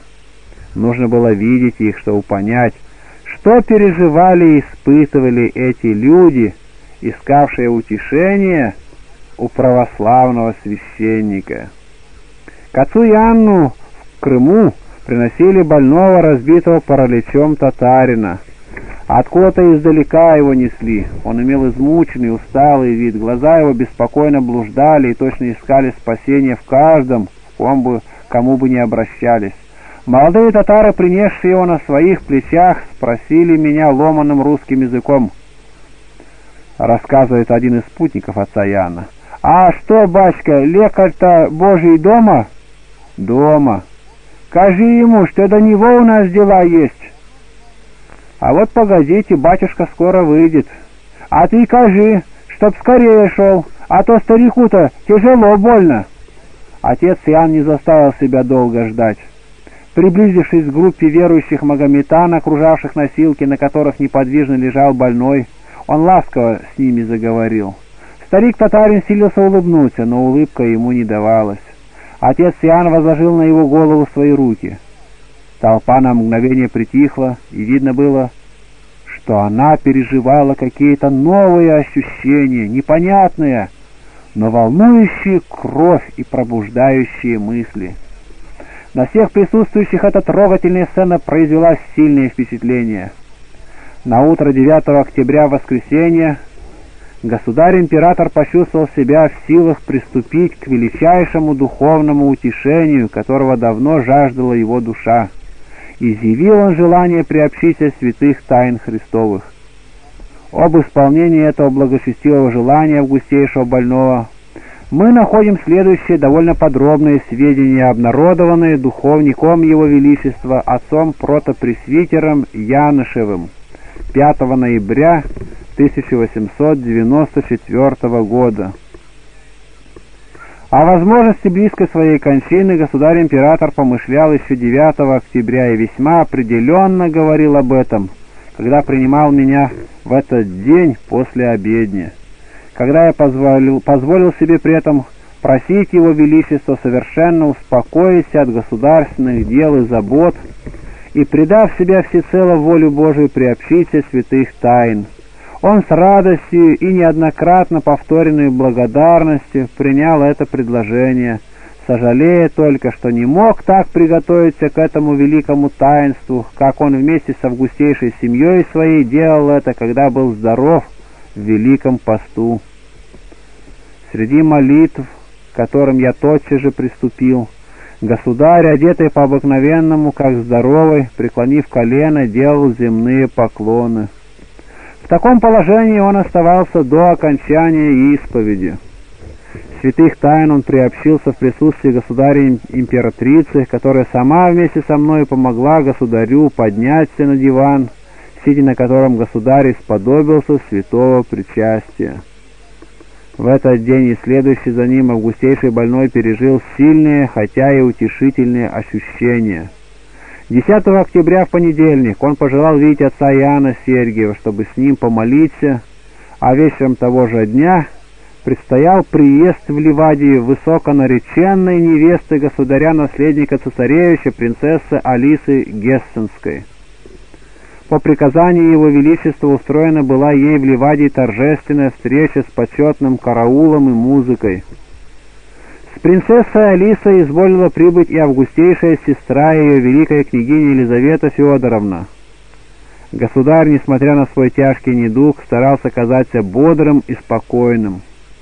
Для встречи и приема принцессы Алисы он потребовал мундир и, невзирая на затруднения, причиняемые отеками ног, пошел навстречу невесты первенца сына и сердечным, чисто отеческим приемом сразу показал ей, что встречает ее как родную, дорогую его сердцу дочь.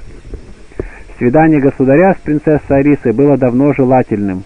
Радость встречи была причиной сильного волнения для больного монарха. Врачи опасались этого.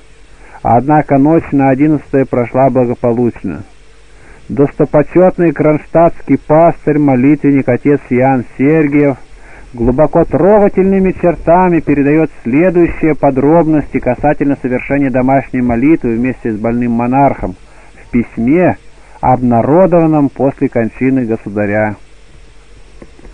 Я был позван в одиннадцать часов утра. Идучи к высокому больному, я думал, как бы мне лучше, сердечней приветствовать царя, тяжко больного. А незадолго перед тем я читал послание святого апостола Павла к ученику его Тимофею, и в нем особенно мне показались пригодными в моем положении для первого привета царю слова, выражающие величие Господа, царя царей, от которого все цари получают свою державу и власть над народами. 1 Тимофея 6, 15, 16. Я и запомнил эти слова. Вхожу в кабинет Его Величества. Государь встретил меня стоя в шинели, хотя отек в ногах не позволял ему стоять. И я так приветствовал его.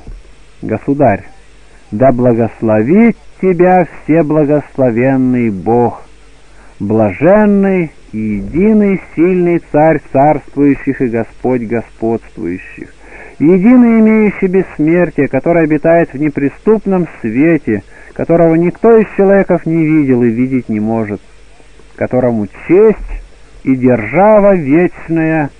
Аминь. После этого я благодарил государя, что он удостоил меня пригласить в Ливадию или созреть его особу. Он изволил сказать, что он не смел сам пригласить в такой далекий край России, настолько он деликатен и скромен при своем величии. Но когда великая княгиня Александра Иосифовна предложила мне, его слова, пригласить вас в Ливадию, я с радостью согласился на то и благодарю, что вы прибыли. Прошу молиться за меня. Я, говорит он, очень недомогаю. Я отвечал, что считаю потребностью сердца молиться о вашем драгоценном здравии, особенно в нынешние дни вашей болезни. О вас молится и вся Россия. Затем он перешел в другую комнату, пригласил меня помолиться с ним и стал на колени. Я прочел три молитвы. Его Величество молился с чувством, склонив голову и углубившись в себя. Когда я кончил, он встал, поблагодарил меня и просил впредь молиться. Государь был один. Когда я уходил, вошла в комнату императрица и приветствовала меня милостиво. С 12 октября по 17 государю было настолько лучше, что стали надеяться, что если не на полное выздоровление, то хоть на незначительное улучшение, которое позволило бы больному прожить при известных предосторожностях и строгом следовании указаниям врачей еще целые годы. Особенно хорошим признаком считалось отсутствие днем сонливости, хороший сон ночью, аппетит – и подъем деятельности сердца, обнаружившегося 15 октября.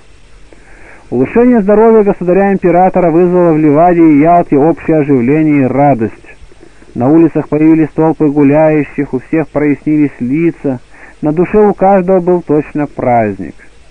Известия покупались на расхват и читались с восторгом.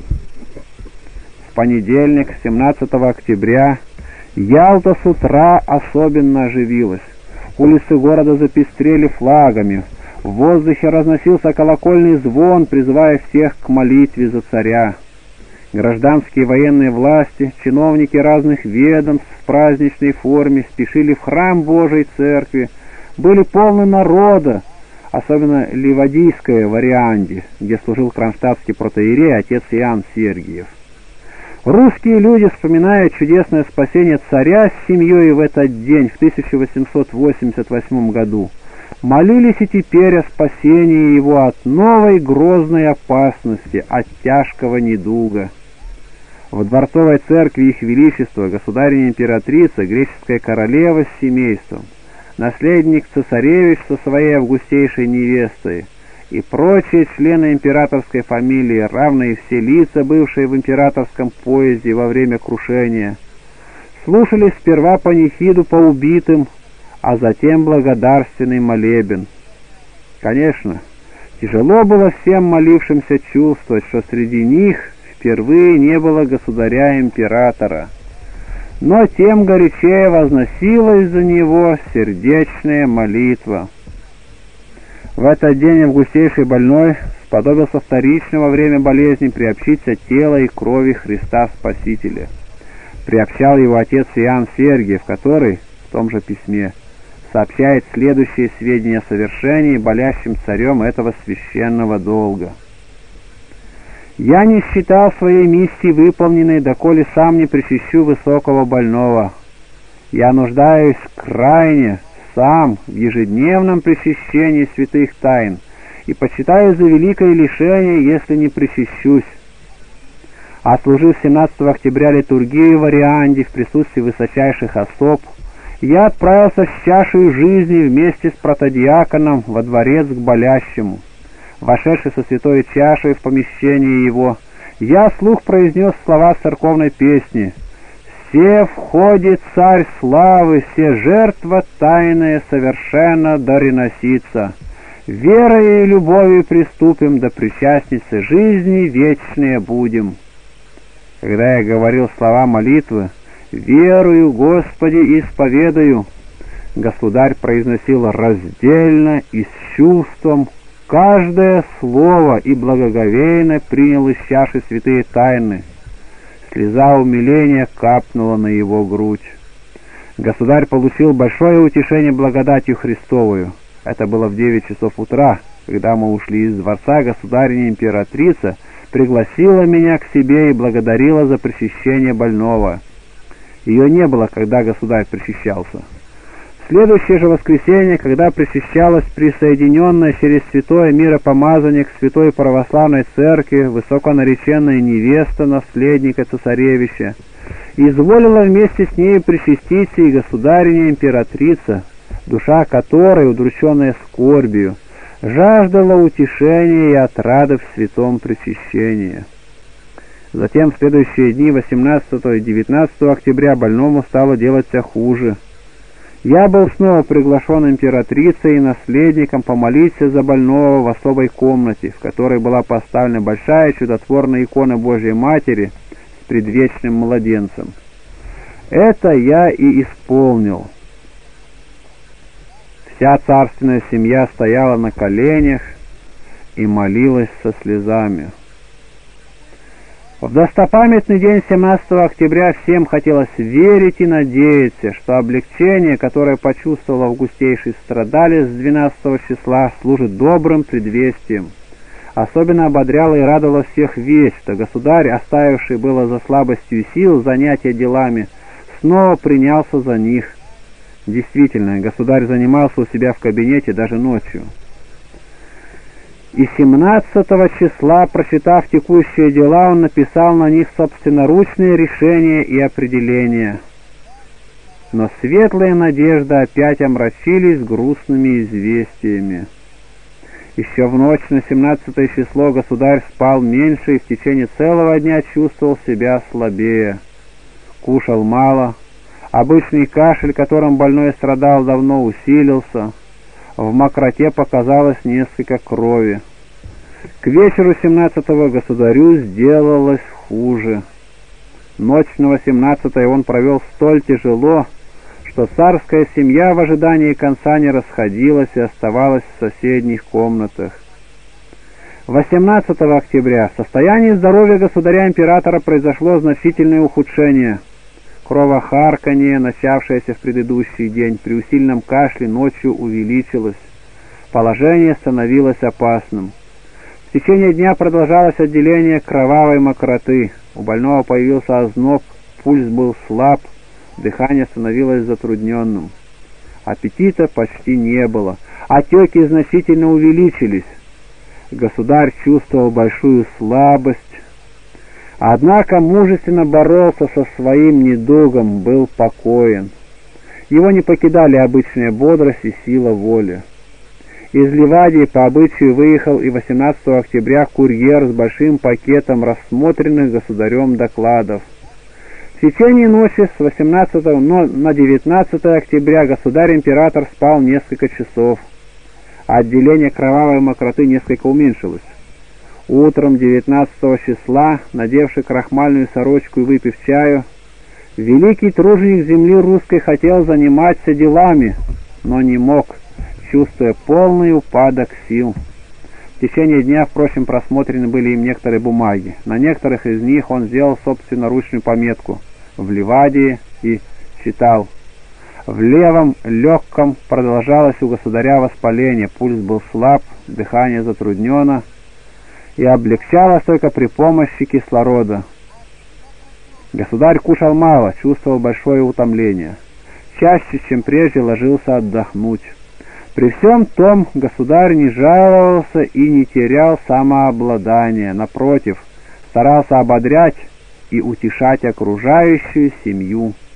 Только самые мучительные минуты просил, если возможно, облегчить его страдания. Конечно, в это время царственный страдалец не ошибался в оценке своего опасного положения и понимал его ясно. Тем более достойна удивления та твердость духа, с которой ожидал он приближения своей кончины. 19 октября отец Иоанн скромно отпраздновал свои именины. В этот день он встал в пять часов утра и отправился в Ялту служить в соборе литургию. Еще накануне, то есть 18 числа, начали приносить приветственные телеграммы. Наплыв телеграмм продолжался в течение всей ночи и всего следующего дня. В Ливаде отец Иоанн получил их 289 штук. По этим телеграммам видно, как велика слава отца Иоанна в пределах нашего Отечества. Видно, с какой глубокой верой вся Россия относится к его молитвам. Откуда получились телеграммы? Здесь были бланки с пометками Казани, Воронежа, Астрахани, Москвы, Екатеринослава, Сергиева Посада, Славянская, Дубно, Киева, Летичева, станции Константиновки, Ростова-на-Дону, Одессы, Николаева, Старицы, Керчи, Курска, Тифлиса, Ярославля, Риги, Ставрополя Кавказского, Пензы, станции Раздельной, Смоленска. Не только большие города, но села, местечки, станции, все прислали свои приветствия дорогому пастырю. Перечислить эти приветствия полностью невозможно, для этого нужна целая книга. Как же велика вера людей в силу молитвы отца Иоанна! Это ясно видно из целой серии телеграмм, чтение которых может вызвать слезы на глазах самого черстого человека. Вот некоторые из них – из Новочеркасска. Два года болен горлом, пища не проходит, питаясь молоком и водой. Доктора отказались пользовать, советуют операцию. Благословите, прошу отслужить молебен, ибо имею семь человек детей. Из Николаева. Постигло нас, бедных, великое горе, отнимают последний кусок хлеба. Прошу со слезами на глазах помолиться о нас Богу о перемене этого несчастья. Из Одессы. Муж мой десять лет без должности, имеет четверо детей, страдаю. Помолитесь найти должность. Из Праги. Батюшка, прошу вас помолиться о возвращении рассудка мужу моему. Екатерина Слав. Помолитесь о выздоровлении единственного умирающего малютки сына. Одесса. Помолитесь, больная. Больная имела одного сына, была надежда. Кормились мы, теперь утонул. Страдаю, бедность, помогите. Эти телеграммы едва ли требуют каких-нибудь комментариев. Все они подписаны собственными именами. Приводить их мы не считаем себя вправе. И вот еще одна телеграмма. Город Баку. Помолитесь за здравие мусульманина Галидула. Мусульманин просит православного священника помолиться о его здравии. Был ли в России подобный пример до отца Иоанна? Нет. Тысячу раз нет. Правда, мусульмане крестились, переходили в христианство, но чтобы больной мусульманин отвращался от Аллаха и Магомета и прибегал к помощи Спасителя – это явление беспримерное. Популярность отца Иоанна простирается далеко за пределы России. Это доказала целая серия писем, полученных почтенным пастырем во время пребывания его в Ливадии. Из Рима, Неаполя, Венеции, Берлина, Вены, Мюнхена и Граца. Содержание всех писем совершенно одинаково. В каждом из них больной или больная, слышавшая о чудодейственной силе молитвы отца Иоанна, обращаются к нему с просьбами о помощи против одолевающих их недугов. Различия религий не играют здесь никакой роли. Католики и лютеране обращаются к пастырю с такой же верой в великую силу его заступничества за них перед престолом Всевышнего, как и самые убежденные православные. Возьмем любое из этих писем, например, письмо из Граца. «Ваше преподобие», — пишет отцу Иоанну, — «некая Каролина Р., дочь домовладелицы». Более десяти лет страдаю я сильнейшим нервным расстройством, доводящим меня иногда до отчаяния. Доктора мне решительно не помогают. Единственная моя надежда на вашу помощь. Неделю тому назад я прошла в нашей газете статью, где подробно описывалась ваша глубоко христианская жизнь и сообщались сведения о чудодейственной силе ваших молитв.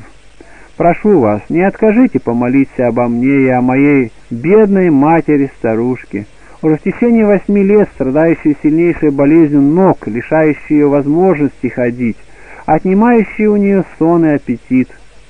Я твердо верю, что Господь услышит ваши молитвы и освободит нас от этих болезней. Прошу вас еще сообщить нам день, когда будете молиться. Мы хотим, во-первых, присоединить свои молитвы к вашим, а во-вторых, сделать посильные пожертвования в пользу наших бедных. С руками, поднятыми к небу, молю вас, не откажите исполнить нашу просьбу, исцелите нас, несчастных страдалец. Приблизительно такого же содержания и другие немецкие письма из Берлина и Мюнхена, итальянские из Рима, Неаполя и Венеции. Приближалось 20 числа октября, день роковой для августейшего больного и неизмеримо горестный для целой России. В этот день всемогущему Богу угодно было в неисповедимых путях своих прервать драгоценную жизнь царственного страдальца. Вечером накануне кончины государя доктор-профессор Ледин объявил государю, что ему необходимо пролежать в постели четыре дня – на что больной согласился. Но, улегшись в постель, государь скоро почувствовал беспокойство и захотел спустить ноги. Доктор Вильяминов сказал, что нужно спросить Ледина, который пришел и устроил августейшего страдальца поудобнее. Он положил подушки под колено его и уговаривал не вставать, а дождаться по крайней мере рассвета, Доктора оставались еще некоторое время, так как государь настаивал на том, чтобы императрица отдохнула. Они удалились, и государиня прилегла на два часа. Проснувшись, она увидела, что больной продолжает беспокоиться. Не раз он просил ее посмотреть в окно, не расцветает ли. Ночь проведена была им мучительно и без сна. Около семи часов государю помогли надеть его обыкновенную комнатную курточку и пересесть в кресло недалеко от балконной двери, в спальне же, где он и оставался до кончины. День был мрачный и холодный. Небо покрылось тучами, с утра пошел мелкий дождь, поднялся ветер, разбушевавшееся море точно стонало от сильного волнения. Все обещало несчастье как будто сама природа почувствовала наступление рокового исхода болезни царя-страдальца. Такая перемена погоды сильно подействовала на больного, силы начали оставлять его, показалась горлом кровь, дыхание становилось все труднее, все чаще и чаще приходилось прибегать к помощи кислорода. В семь часов государь приказал позвать к нему наследника цесаревича, и около часа изволил с ним беседовать наедине. Государыня императрица была в соседней комнате, но вскоре цесаревич пришел сказать, что государь ее зовет. Войдя, она нашла его в слезах, и он сказал ей, «Чувствую свой конец». На это императрица воскликнула, «Ради Бога, не говори этого, ты будешь здоров!» «Нет», — произнес царственный страдалец, — «это тянется слишком долго. Чувствую, что кончина близка». Он старался ободрить и утешить августейшую супругу в ее горе, с нежностью говоря ей «Будь покойна, я совершенно покоен» и утешая ее любовью детей и всех подданных, Императрица, видя, что дыхание царственного страдальца затруднено и что он слабеет, послала за великим князем Владимиром Александровичем и прочими августейшими особами, которые в начале десятого часа все собрались около больного. Сознание государь не терял ни на минуту и находил еще силы произносить приветливые слова собравшимся членам царской семьи. Благостный монарх каждому из присутствовавших членов императорского дома уделил долю самого милостивого сердечного внимания. Вспомни, что 20 октября, день рождения великой княгини Елисаветы Федоровны, государь пожелал поздравить ее. Когда, в свою очередь, подошла к больному ее королевское величество Ольга Константиновна, он протянул ей руку и слабо сказал «Ольга Константиновна». Как и всегда, они поцеловались. В это время прибыла в Малый дворец прямо из-за границы августейшая сестра государя, герцогиня Кобурская Мария Александровна. Среди беседы со своими присными государь на минуту не забывала о своей душе и о Боге, перед лице которого готовился вскоре предстать. Чувствуя душевную потребность углубиться в молитву, он внятно сказал «Я желал бы помолиться».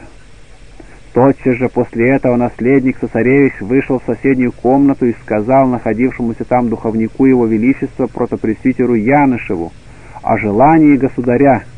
Тогда духовник вошел в августе, к августейшему больному и начал читать молитвы.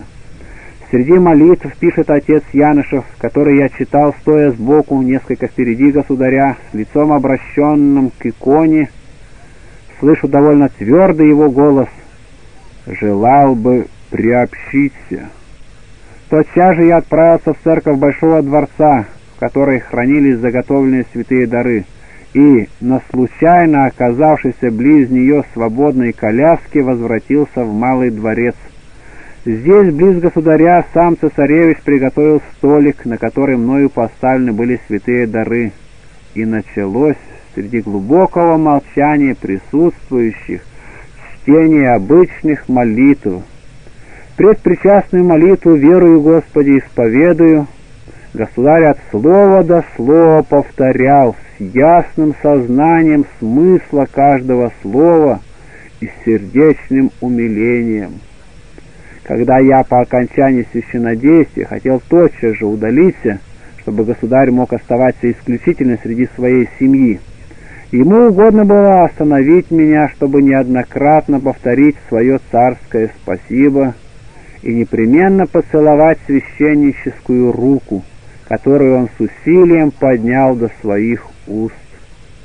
При этом я невольно наклонился к его уху, от всей души высказав взаимно благоговейную признательность его величеству, не за духовенство только, но прежде всего за святую церковь, которой он был неизменно верным сыном и твердым защитником, и за все сословия русского народа, которому он посвятил все свои заботы и пожертвовал свои силы.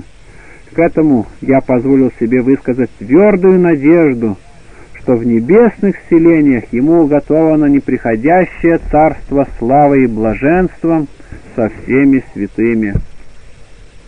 Приобщение святых тайн августейший больной сподобился в десять часов утра, после чего началось прощание с ним всех присутствовавших высочайших особ. Духовник его величества удалился в соседнюю комнату, в которой находились доктора. В одиннадцать часов положение больного сделалось особенно трудным. Казалось, что роковая минута приближается. Деятельность сердца продолжала падать, одышка увеличилась но телесная крепость могучего царя еще раз восторжествовала над злым недугом, и его величество почувствовал снова некоторое облегчение. Подкрепляя свои силы вдыханием кислорода через некоторые незначительные промежутки времени, государь все время оставался в полном и ясном сознании. Около этого времени он пожелал видеть отца Иоанна Кронштадтского, который служил тогда обедню в Арианде. До прихода пастыря-молитвенника государь выразил желание отдохнуть. С августейшим больным остались только императрица, цесаревич с высоконареченной невестою и царские дети. Прочие высочайшие особы из комнаты Его Величества вышли в соседнее помещение, и двери в нее заперли. Августейшим особам, вышедшим из комнаты царя-страдальца, доктор Ледин сказал малоутешительную весть, что легкие у больного хуже сердца. В это тяжкое для всех время вместе с царственным страдальцем более других болело сердцем и томилась его августейшая супруга. На дорогую нам императрицу ужасно было смотреть. Такими скорбными словами определяет тяжкое состояние государыни королева Эллинов, описывая последние часы жизни царя-миротворца. На призыв царский вскоре явился в Малый дворец отец Иоанн Кронштадтский. «Я поспешил явиться», — пишет он, — «тотчас по совершении литургии, и оставался в высочайшем присутствии до самой блаженной кончины государя. По желанию государни императрицы я прочитал молитву об исцелении болящего и помазал ноги и другие части тела его елеем. Этот елей из лампада, чтимой чудотворной иконы, по желанию усердствующих, доставлен был через одного из ялтинских священников для помазания густейшего больного. Приняв с искренней верой это благочестивое усердие, государь-император выразил желание, чтобы я возложил мои руки на главу его, и я долго держал их. Государь находился в полном сознании и просил меня отдохнуть, но я сказал, что не чувствую усталости, и спросил его, «Не тяжело ли вашему величеству, что держу долго руки мои на голове вашей?» Но он сказал мне, «Напротив, мне очень легко, когда вы их держите. Потом ему угодно было сказать, «Вас любит русский народ». «Да», — отвечал я, — «ваш народ любит меня». «Любит», — ответил государь, — «потому что он знает, кто вы и что вы». Подлинные его слова. Хотя с моей стороны, может быть, и не скромно помещать эти слова, но так как каждое слово умиравшего монарха дорого для России и характеризует его великую, смиренную, добрую, отзывчивую душу, не счел я справедливым опустить их, хотя, признаюсь, недостоин такого доброго слова великого государя моего». В течение последних часов государь, окруженный своей семьей, ни на минуту не теряя сознания, ослабевающим голосом продолжал беседовать с императрицей и детьми. Он часто целовал императрицу, под конец же сказал, «Не в силах даже поцеловать тебя», причем дышал с большим трудом. Дети стояли около него на коленях, как и государиня, державшая его руки, которые начали холодеть. Государь все просил их сесть, говоря, что они устанут. Великий князь Михаил Александрович гладил руку отца, который с нежностью, глядя на него, сказал «Душка», но тут же простонал «Тяжело, очень тяжело». Незадолго перед кончиной государя отец Иоанн снова молился. Между тем, как деятельность сердца у больного все слабела, и дыхание становилось реже. Государиня-императрица, ни днем, ни ночью не покидавшая страждущего супруга, до последней минуты с непоколебимой твердостью оставалась верна своему чувству и долгу являясь для русских женщин в течение 28 лет образцом и примером супруги, она до последнего вздоха августейшего страдальца находилась близ него. Императрица сидела с левой стороны его кресла, на скамеечке, почти колено преклоненная. В два часа пополудни у государя усилился пульс, и взор его как бы оживился. Еще за три минуты до кончины видно было, что государь желал что-то сказать, и, обратясь к профессору Ледину, следившему за биением пульса, произнес «Кислороду». Но прежде, нежели Ледин успел выполнить желание умирающего, государь-император, поддерживаемый за плечи наследником цесаревичем, склонил голову на плечо государыни, закрыл глаза и тихо в бозе почил. Было два часа пятнадцать минут пополудни. Такова была праведная, истинно христианская мирная кончина благочестивейшего из монархов Александра Третьего. Он предал дух свой Всевышнему Владыке, завещав народу своему благословение мира и завет доброй жизни. Он скончался, как жил, как расстаются с жизнью простые русские люди, крепкие своей чистой совестью, своей горячей верой в Бога и в бессмертие души. Пастырь-молитвенник отец Иоанн Кронштадтский, свидетель и очевидец блаженной кончины царя-миротворца, такими светлыми чертами изображает ее. Он тихо скончался. Вся семья царская безмолвно, с покорностью воли Всевышнего преклонила колени.